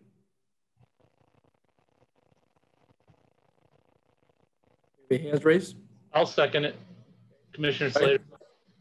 All right, so we have a motion and we have a second second uh, to approve uh, the transmittal letter uh, as uh, included in our packet and certainly with an acknowledgement of the discussion in response to questions. Any further commission comments before I call for a vote? I see no hands raised. And also, uh, I wasn't able to catch who seconded the motion, if I could. Uh, Commissioner Slater. Okay, Stacy, I'll turn to you. Okay. Chair Nottoli? Aye. Vice Chair Winn? Yes. Commissioner Villegas? Aye. Commissioner Vasquez? Yes. Commissioner Fuller? Aye. Commissioner Steele? Aye. Aye. Thank you. Commissioner Nakanishi? Aye. Commissioner Paroli? Aye. Commissioner Slater? Aye. Commissioner Agar? Abstain. Commissioner Eddy? Abstain. Commissioner Vogel? No. Commissioner Bush? Abstain. Thank you. Chair Nottoli, we have nine yeses, three abstains, and one no. All right, thank you, members of commission. Thank you to uh, presenters and commenters. Uh, appreciate the deliberation. And uh, with that, then the letter will be uh, sent forward. Okay, I know we've gone long here, so but we have obviously a very important topic uh, to uh, get a report on, and we have some panelists who are going to share with us. So I recognize that we're past the six o'clock hour here. So at any rate, though, I'll call for item 13, which is a, a discussion about drought activities in the Delta. And uh, again, we've got presentations by Michael George, our Delta Water Master, Jacob McQuirk uh, from Department of Water Resources, and Melinda Terry from the North Delta Water Agency. Erik, did you want to introduce this? And again, I don't want to shortcut your time. I know this is a matter of great interest to every Californian. Uh, we'll try to you know, condense this, but also allow sufficient time to have. yeah, no, I would just turn it over to Michael, then Jacob, then Melinda. Thank you, Mr. Okay. Chair. Okay, very good. Okay. Michael, good evening. Good evening. Thank you. And I, uh, I will be quick. I know you've uh, uh, had a long agenda and uh, so I'll, I'll move quickly through this and I'll apologize, Chair Nottoli, that um, at the DPC meeting, which you attended on Monday, you got to see uh, much of this presentation. No, no apologize. I, I learned something every time you present, Okay. Mr. Watermaster. Thanks. Go ahead. Well, I, I can also say that there have been uh, developments since Monday, so stay tuned. There are, there are some new things. Uh, Next slide, please. So um, I, want to give a quick uh, step through the evolution uh, of, of what's happened just since the end of May or the beginning of May. At the end of April, on April 29th, uh, Term 91 was triggered because the Delta came into balance conditions and we had drought in the entire Delta watershed, as the map here indicates. And on May 10th, the governor proclaimed a state of emergency on account of the drought throughout the Delta watershed.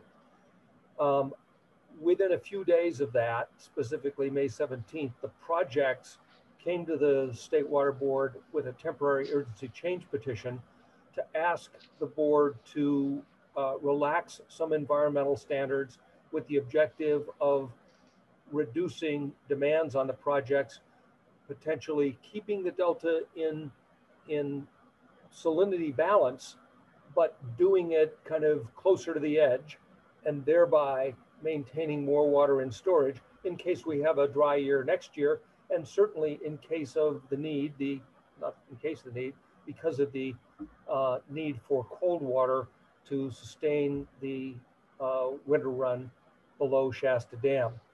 So, uh, in addition, uh, during this period of time, uh, my colleagues in the Division of Water Rights uh, presented a new and improved, and I will say that sincerely, dramatically improved methodology for determining water unavailability within the Delta watershed. So that was May. Next slide, please. Um, we moved uh, uh, pretty quickly to June, and uh, at the June 1st meeting of the Water Board, there were presentations about how the drought was evolving. And uh, we'll compare these maps uh, in, a, in another slide, but recognize that the drought was getting much worse particularly in the northern part of the watershed. And also on the 1st of June, the state board approved an order or adopted an order approving the temporary urgency change petition with a number of conditions primarily aimed at um, making sure that the uh, salinity continued to be re repulsed because we recognize that obviously maintaining a freshwater estuary is a very high priority. In fact, probably the highest priority in terms of managing under uh, Decision 1641. There were uh, a deadline for filing objections a few days later. The uh, TUCP mm, uh, is still open, could be updated. Don't know whether that's going to happen, but uh, stay tuned on that. On June 15th, However, the Division of Water Rights sent notices to all water rights holders in the entire Delta watershed, some 17,000 registered water rights, alerting them, number one, that based on the best information available to the Water Board, there was no water available at priorities post 1914. So in implementing the priority system, this notice was to say, based on the information the Division of Water Rights, the State Board, and the Office of Delta Watermaster had, there is no water available at those more junior priorities. And importantly, uh, alerting others to the fact, uh, even, even more senior water rights, that it was likely, as we saw the evolution of this drought, that there would be uh, the need to uh, curtail diversions at even uh, higher priorities, that is, earlier than uh, 1914. So um, we, we moved through uh, to the end of June. Next slide, please. And the, the uh, drought continued to get worse. Um, going back to the governor's proclamation of May 10th, the board is directed to consider emergency regulations to consider how to extend um, curtailments to protect the most senior water rights as required under the priority system and to protect um, releases of stored water. Those are the two issues in paragraph five of the governor's proclamation. Um, so those emergency regulations are being developed. There's a public process for that. We're anticipating now that those um, emergency regulations may be uh, uh, draft, staff draft of those may be available by um, uh, the 20th, 22nd, 23rd, sometime in that time frame, uh, so that there can be a workshop to take uh, input on that and also to uh, uh, provide the board with more information when those emergency regulations are proposed to the board. And there's a, a, a, an effort to get those emergency regulations before the board at its August 3rd meeting. That's an incredibly uh, fast track time frame, but that's the nature of the, the rapid evolution of this drought. Uh, on last Thursday, July 8th, so after I put these slides in, the governor uh, expanded the drought uh, proclamation. And one of the things that he did there was to say, um, conservation has become a California way of life. We recognize that. We can see that, say, from base year 2013. There have been important efforts to maintain conservation. But in light of how bad this drought is and how it has developed in such ferocious fashion in such a short period of time, the governor called for voluntary increases in conservation efforts with the goal of an additional 15% over water after over last year 2020 so that is a request for all water users obviously some are going to be able to make it some may be able to overdo it or, go beyond the 15% and i think the key element of that message is this drought is getting worse and it's getting worse quickly. And any water savings helps at the margin to reduce pressure on a system which is under excruciating pressure. So um, uh, we've also recognized that there are anomalies both to water quality and to the models for uh, what we expect in a drought. And if we could just go to the next slide, this is lining up those same three uh, maps. And you can see just in a little over a month how the exceptional drought has enveloped the entire watershed. So we're in this together. It's bad. Uh, if we go to the next slide, we'll see that um, drought in the Delta is obviously experienced differently than it is elsewhere in the watershed where it's elsewhere in the watershed, it's experienced as a lack of physical water. In the Delta, it's not lack of physical water, it's primarily rapid deterioration in quality.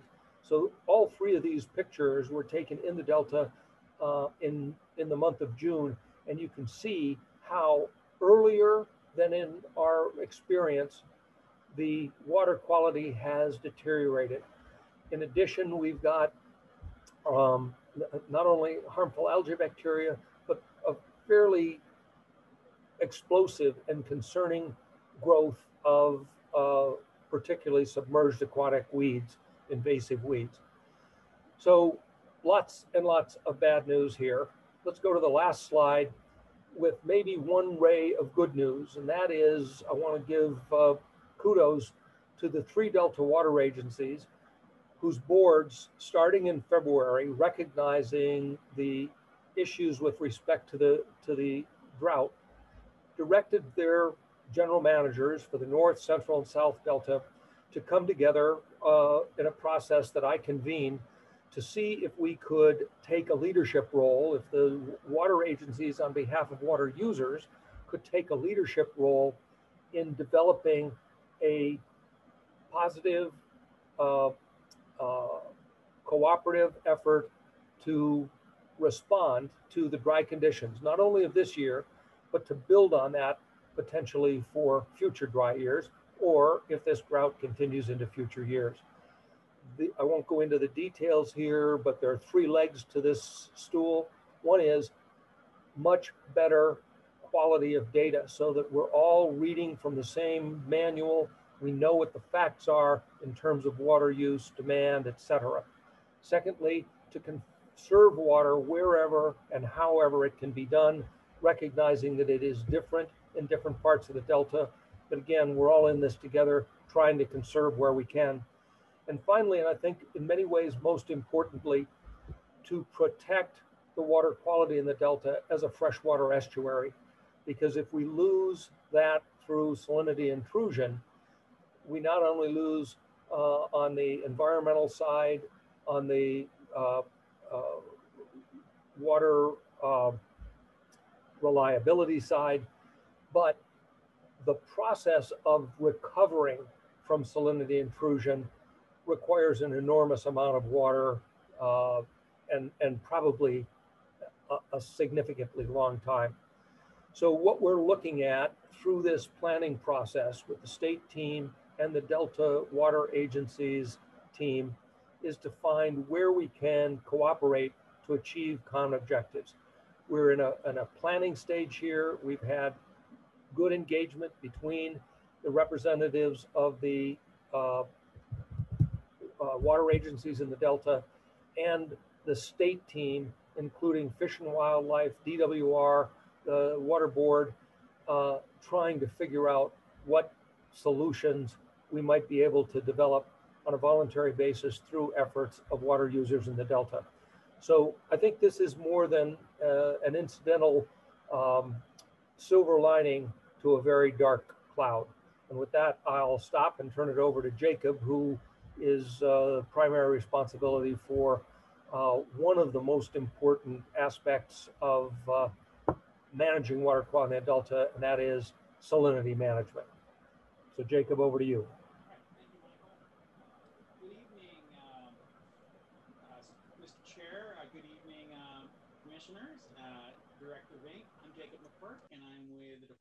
Resources. Hey, hey, Jacob, you're very hard to hear. I might be the only one, but I, if you could maybe get a little closer to your microphone. Yes. Is that any better, Erik? No. No. Still pretty faint. Still pretty faint. Sorry about that. That's not good. Let me, you know, uh, this is this is not. I'm not. Let's see. I mean, I'm right at the mic, so maybe it's an issue with the wrong microphone. Yes, it is. How's that? Is that better? Oh, yeah, we got you. You're coming through loud and clear. All right, sorry about that, folks. Uh, again, can, um, are you going to bring the PowerPoint up or would you like me to share the screen? We'll bring it up, Jacob. Excellent. So again, I'm, I'm Jacob McQuirk and I'm with the Department of Water Resources. Um, I'm the manager of the South Delta branch and I'm also the manager for the emergency drought barrier. And so today uh, we're going to talk a little bit about, um, about the drought and some of the actions that we are taking uh, to mitigate the effects of this drought. Um, so again, this is, um, we're going to talk about the 2021 emergency drought barrier. That is a channel closure across False River to help us uh, conserve water in upstream reservoirs.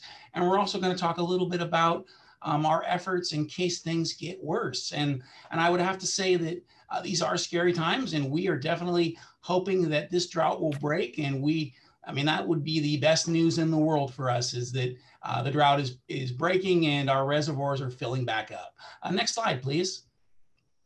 So um, I'm not going to get into this too much just because uh, Michael did an excellent job of uh, painting the picture of just how bleak and dry times are. Um, and the fact that we had a couple um, executive orders that uh, helped us uh, get move forward with some actions to mitigate these droughts. Uh, next slide, please. So this is a slide that that I, I'm a I'm, I, I like quite a bit, and why? Because it's the eight station index, and as a water resource engineer, this is something we look at whether it's dry times or whether it's uh, times of flooding. And that blue line there, that is this current year. And as you can see there with my cursor right there, uh, 23.1 inches, and it is perfectly flat. And that is really not what we want to see. So we're seeing that uh, this is make, turning out to be the second driest year on record. So uh, things are extremely dry. Uh, next slide, please. And so what do we have to do is we have to take whatever actions we can uh, to preserve water in our upstream reservoirs, to preserve water so that uh, th those waters are available later in the season for beneficial uses. So what we've done is we, we prepared a drought contingency plan. And in that plan, we have to take actions. And specifically, there are two actions that we've taken to help conserve water and help uh, uh, preserve water such that it might be available later in the year for beneficial uses and also to preserve the quality of the interior delta. And so what folks probably already know is that uh, the way our uh, water supply system in California and the delta works, it's the release and the natural flow of fresh water from upstream reservoirs that uh, push the salts out and keep the salts at bay. And every tidal cycle, um, every tidal rise, you've got those uh, saltier ocean waters pushing into the delta. And so what we've done is we've taken two actions. The first is um, we applied for a temporary urgency change uh, to our water rights, specifically D1641, to allow some relaxation. And what that relaxation, one of the primary things it does, it allows our net delta outflow to be reduced. And so uh, specifically from about 4,000 to 3,000 CFS. And what you're seeing on the right, on the right is uh, the results of some of our hydrodynamic modeling.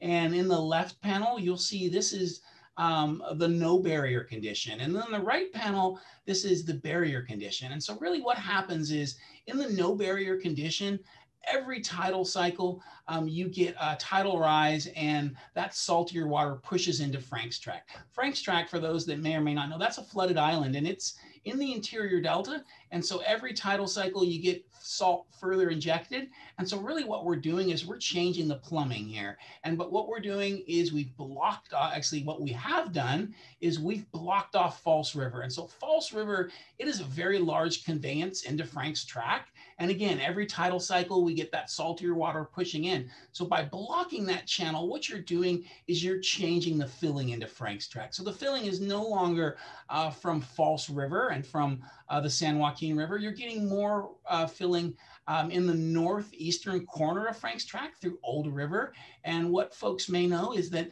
that's going to be fresher water. That's water you're going to see uh, more water that's coming in from the Delta Cross Canal, uh, more water that's coming in from the Delta uh, from Georgiana Slough. And so you're getting fresher water. And really what it does is it doesn't make the salinity better. What we're doing is we're, we're able to preserve the existing salinity in the Delta with the release of less fresh water. Uh, next slide, please.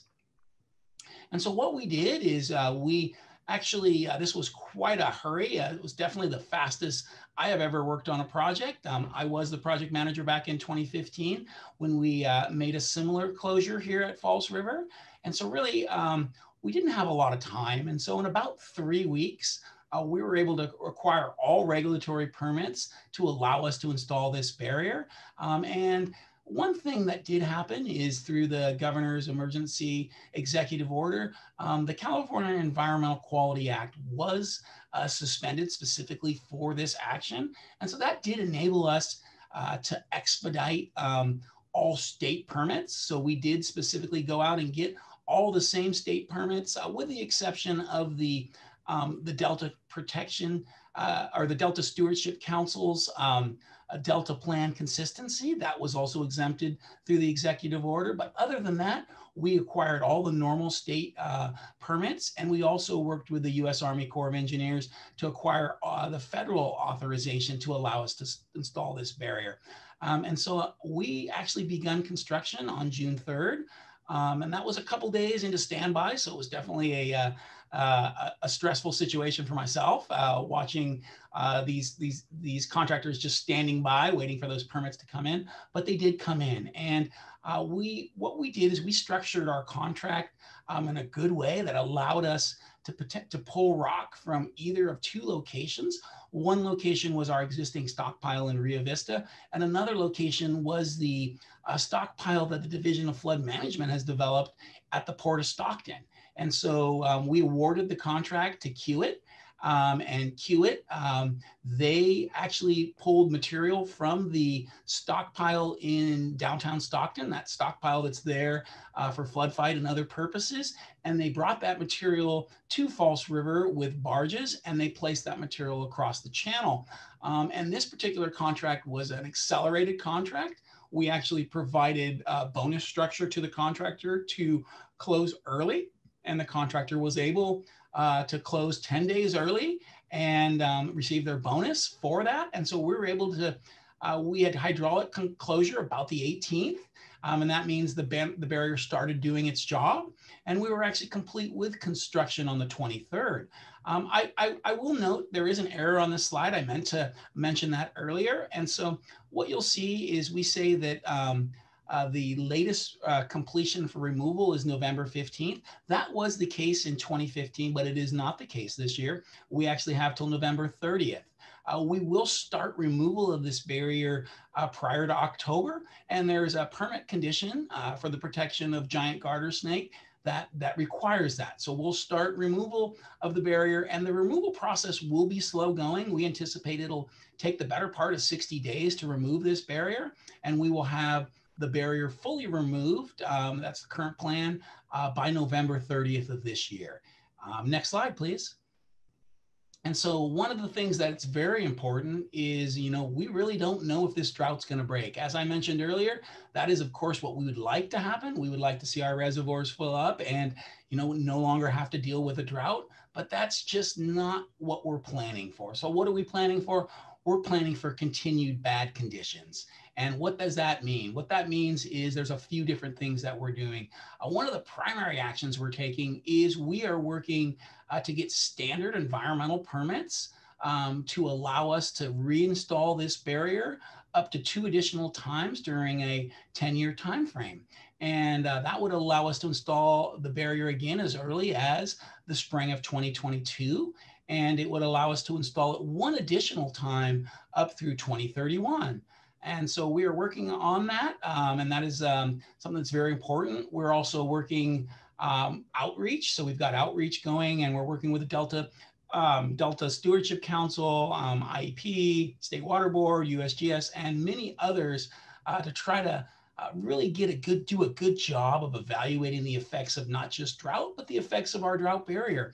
Um, and so that's that's one thing that we're doing. And one thing, uh, another thing that I'd like to mention is unlike what we're doing in this current emergency action, uh, we do uh, plan to solicit uh, public comments. And so our plan on that, and it's going to be quite a push to get this out, is we are planning to release our California Environmental Quality Act document this summer.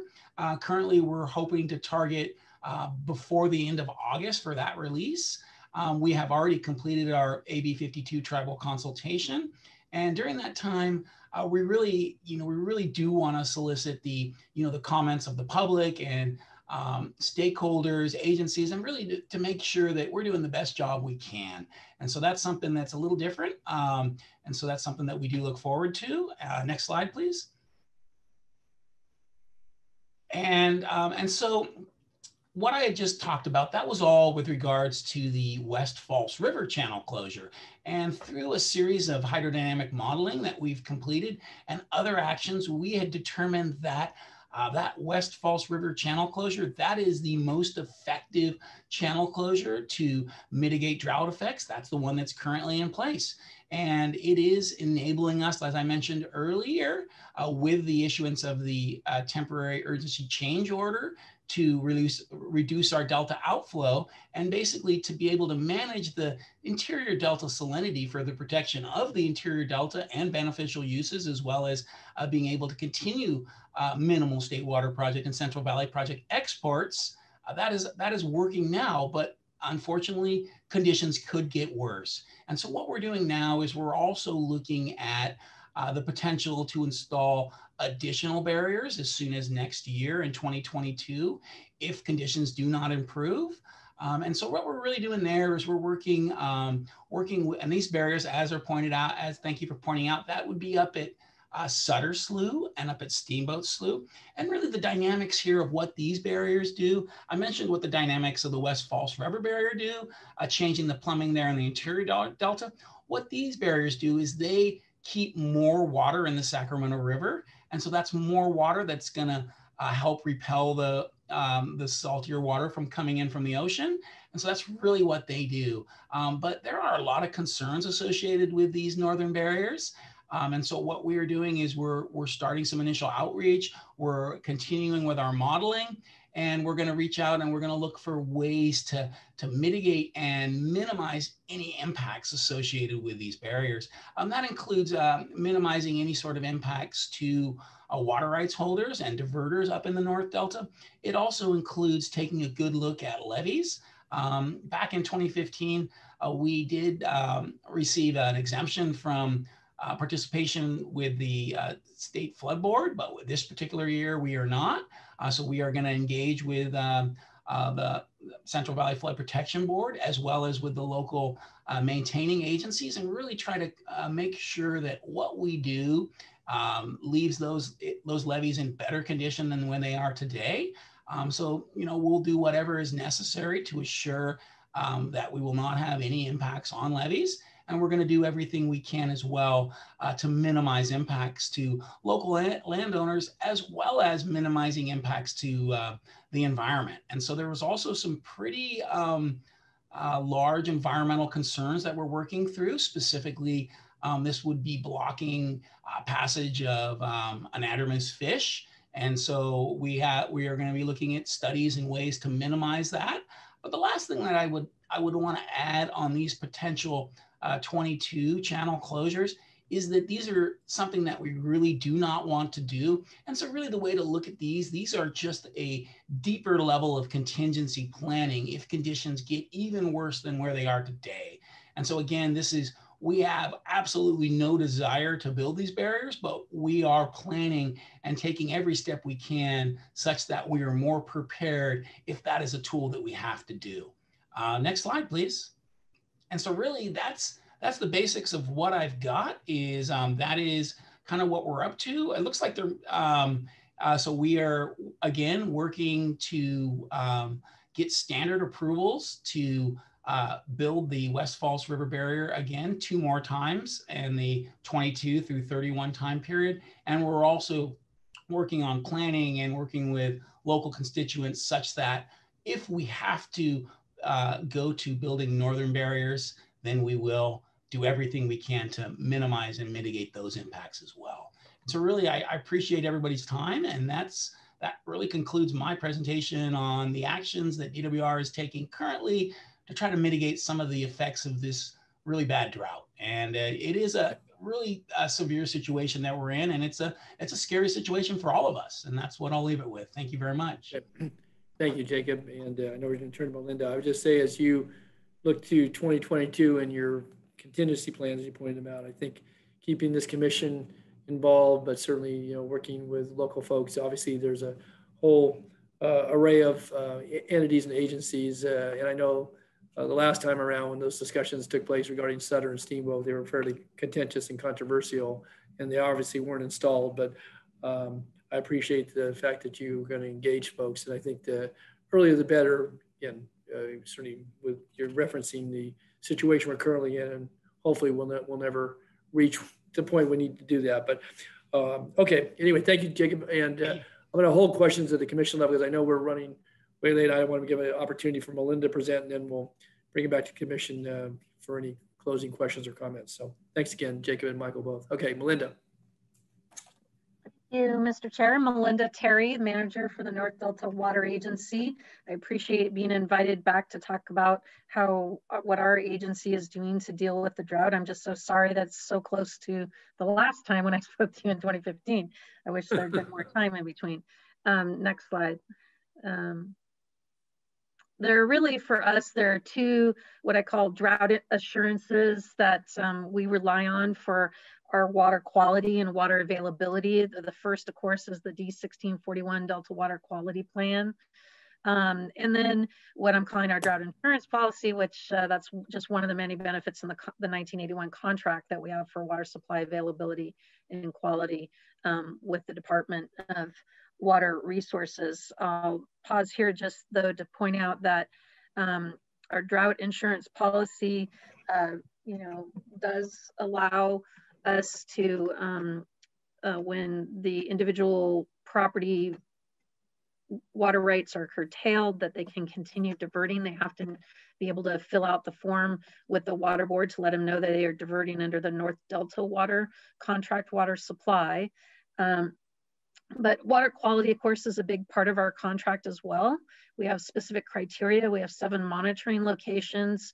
And I would just say that this year, um, we are ex uh, experiencing the fact that DWR is uh, exceeding our criteria. They're not in compliance. And at our Three Mile Slough location, they have not been in compliance since June 28th.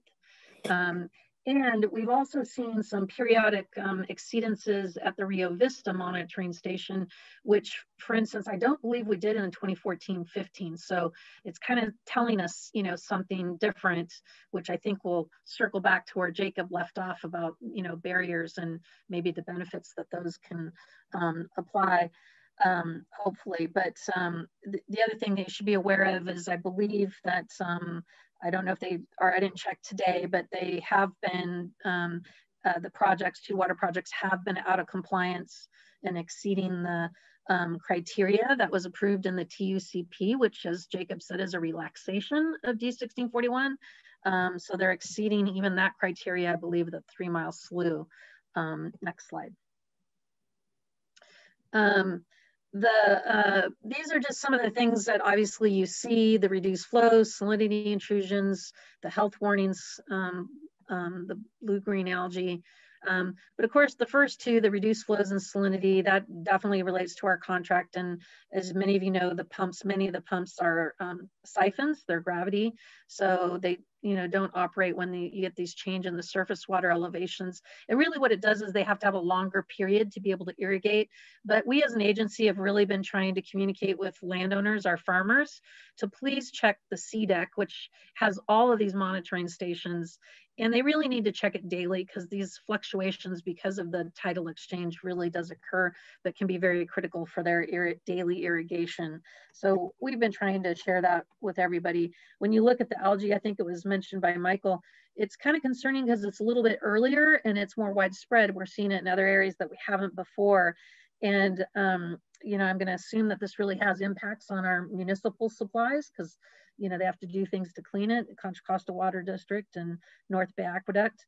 Um, and the science is still out on whether it has effects on crops, but in my reading on this subject, it does appear that there are studies going on in other states on that, but it's something for us in the future to keep an eye on.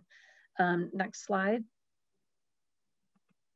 Um, this, I'm, I'm calling this is just a lot of spinning plates and they've already been touched on by both Michael um, and Jacob, uh, the drought contingency plan um, that the projects do, um, the local response plan that the three Delta agencies have been working with the water master and the state team. Oh, could you go back? Thanks. Um, uh, that, you know, we kind of missed the, the the timeline for our farmers for this year, but I think farmers in general really try to be judicious in droughts.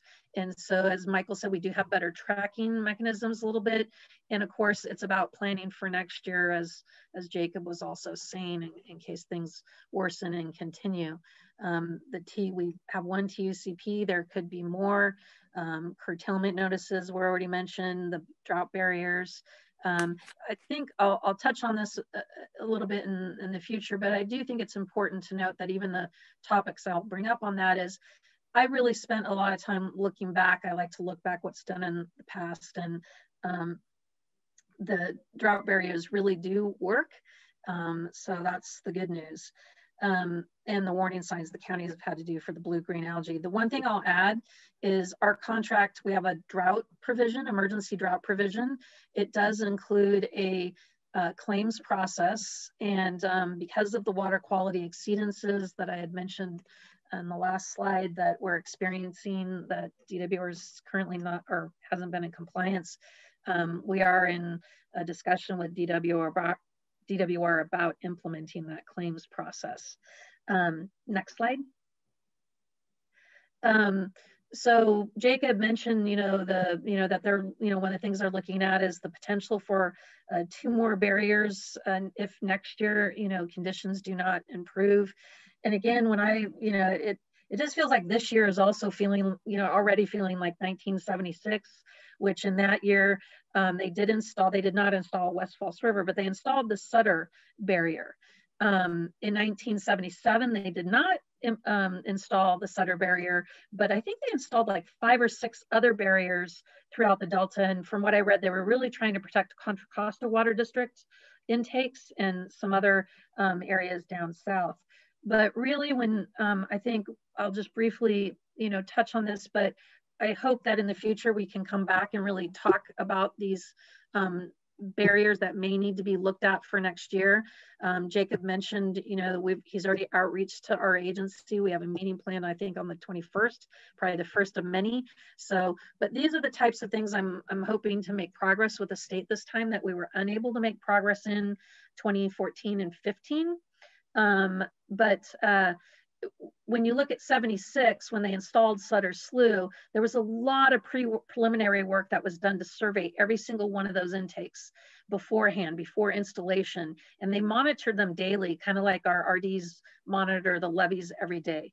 Um, and then they also executed a memorandum of permit with the North Delta Water Agency that had a list of mitigation measures that included things like um, um, in, uh, having available on site on a couple of different islands, portable pumps in the power plants. They even built an overland pipe at Ryer Island with some three portable pumps.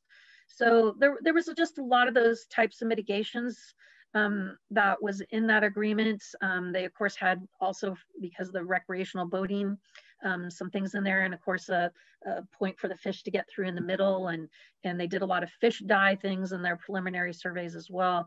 And then under remediation in our agreement, really they also um, reimbursed our agency for any costs that we had for legal engineering and manager costs for dealing with that installation and removal um, and to also hold us harmless for their project if there were um, claims. So we really do, we were unable to get the state to agree to renew this same agreement, you know, even though they were looking at Sutter and Steamboat. Um, so that's, you know, where Jacob comes in and we're trying our outreach earlier because the thought is we really need to be working together and prepared and ready for his team, you know, to be as quick as they were, frankly, doing the second installation this time, you know, like they did in 2015 um, for False River. So if we do this right, I think that's what we'll be able to do. Next slide, please. Um, which just I think this is my last slide leads me um, to my last point, which you know sometimes the dire conditions bring people together in emergency situations, and so I think if we again you know just have this better um, compliance with to the best they can of our water quality, or we do things like the um, claims process um, communication. When you look back at the 76, 77 drought, DWR actually had this outreach. I think they originally called it Outreach Operations Office, and then 77 they called it the out, um, uh, Drought Information Office. But that was a lot of what they did. They were doing extensive public education and outreach. And, and really it's finally our cooperation, you know, to try to really work together so that again, we have a smooth um, and really uh, opportunity that we are able to work together and get these agreements in place so that both the reclamation districts that are impacted and North Delta Water Agency can um, hopefully support these projects as they go forward with their regulatory um, permitting. Um, and I guess I'll just end it with, I agree with the statement. Ooh, I was right on time. Um, I did a timer on myself. um, is I'll just end with, I liked the statement that Michael made that I agree with him that we're in this together. Um, so we just have to continue to try to do a little better job of that moving forward because this will not be the last time we're dealing with it. Thank you. Great. Well, thank you very much, Melinda. And again, thank you to Michael, to Jacob, and to Melinda.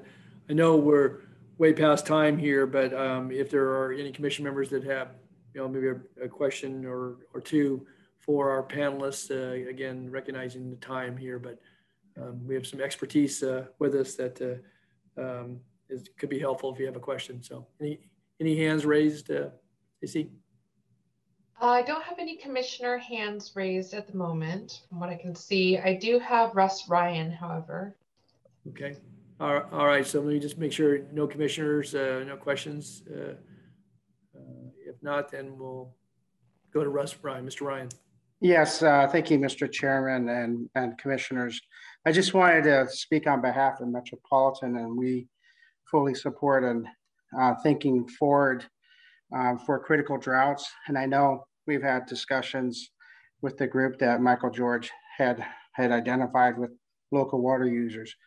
As you know, we own 20,000 acres, so we're in the same the same situation and, and issues. So we're we want to do our part to help support and any resources that we have, uh, we are dedicating to help solve some of the solutions moving forward. Obviously, again, as Melinda mentioned, this year is already kind of upon us with, with the agriculture season, but we certainly can look for the framework and develop some solutions as we go forward for future critical drought years. And that's, and I thank you very much for my input. Good. Thank you, Russ. I appreciate uh, your contribution to the conversation, certainly ongoing work on behalf of the agency you represent. Um, anyone else? There are no hands raised. Okay. Erik, I'll bring it back to you then, uh, unless there's any commission comments for anything you want to close with. Again, we thank our panelists so much for being here with us. Yeah, thank you, Mr. Chair. This was really just purely an informational item. There's a lot going on. We have the benefit of hearing from our Delta Water Master on a fairly regular basis, and I would expect that um, this might be a topic that we will revisit uh, with new and additional actions as they uh, as they occur. But stay tuned, um, especially if, uh, heaven forbid, we head into a dry winter um, this is something that we'll be uh, continuing to brief this commission on. Okay, thanks. All righty, well, very good then. Um, uh, again, finally, thanks to our panelists, and uh, we we're you're, you're invited back, uh, and, and maybe that uh, you'll be regulars on our agenda, and hopefully with the better news lying ahead for all of us. But okay, that uh, concludes then the report on the activities, drought activities in the Delta, and we're now down to the uh, final item on the agenda, um, which is our adjournment. Chair Nottoli? Yes. Uh, we do still have item six open for voting. I know we were still trying to get Commissioner Nakanishi's vote due to the um, Zoom challenges. Okay, I'll just real quick, uh, Alan, if you're still on the phone, uh, I know we were having technical difficulties. It was just on the approval of the minutes from the May meeting, and uh, we had all ayes, but we're going to give you a chance to vote on that. So if you. Ayes. Alan Nakanishi, aye. Thank you. Okay, very good. Thanks, Alan. Good. Okay, closes item six out. So now we're down to 14. Uh, it may be that we will have a special meeting called and, and Erik, you and your staff would work with commission members about uh, availability and then obviously do public noticing and such. So. Okay. All right. Uh, Commission members, anything else uh, for the good of the order? Uh, otherwise, we're going to move to adjourn. Seeing none, then uh, I want to thank all of you, thank our all of our audience, all the participants, and uh, commission staff. So we will we'll stand in adjournment and um, enjoy the rest of the evening. And thank you so much for all your contributions uh, to work uh, that benefits the Delta and um, our state. Okay. We're adjourned. Thank you very much. Thank you, Don. Yep, thank you. All right, thank you.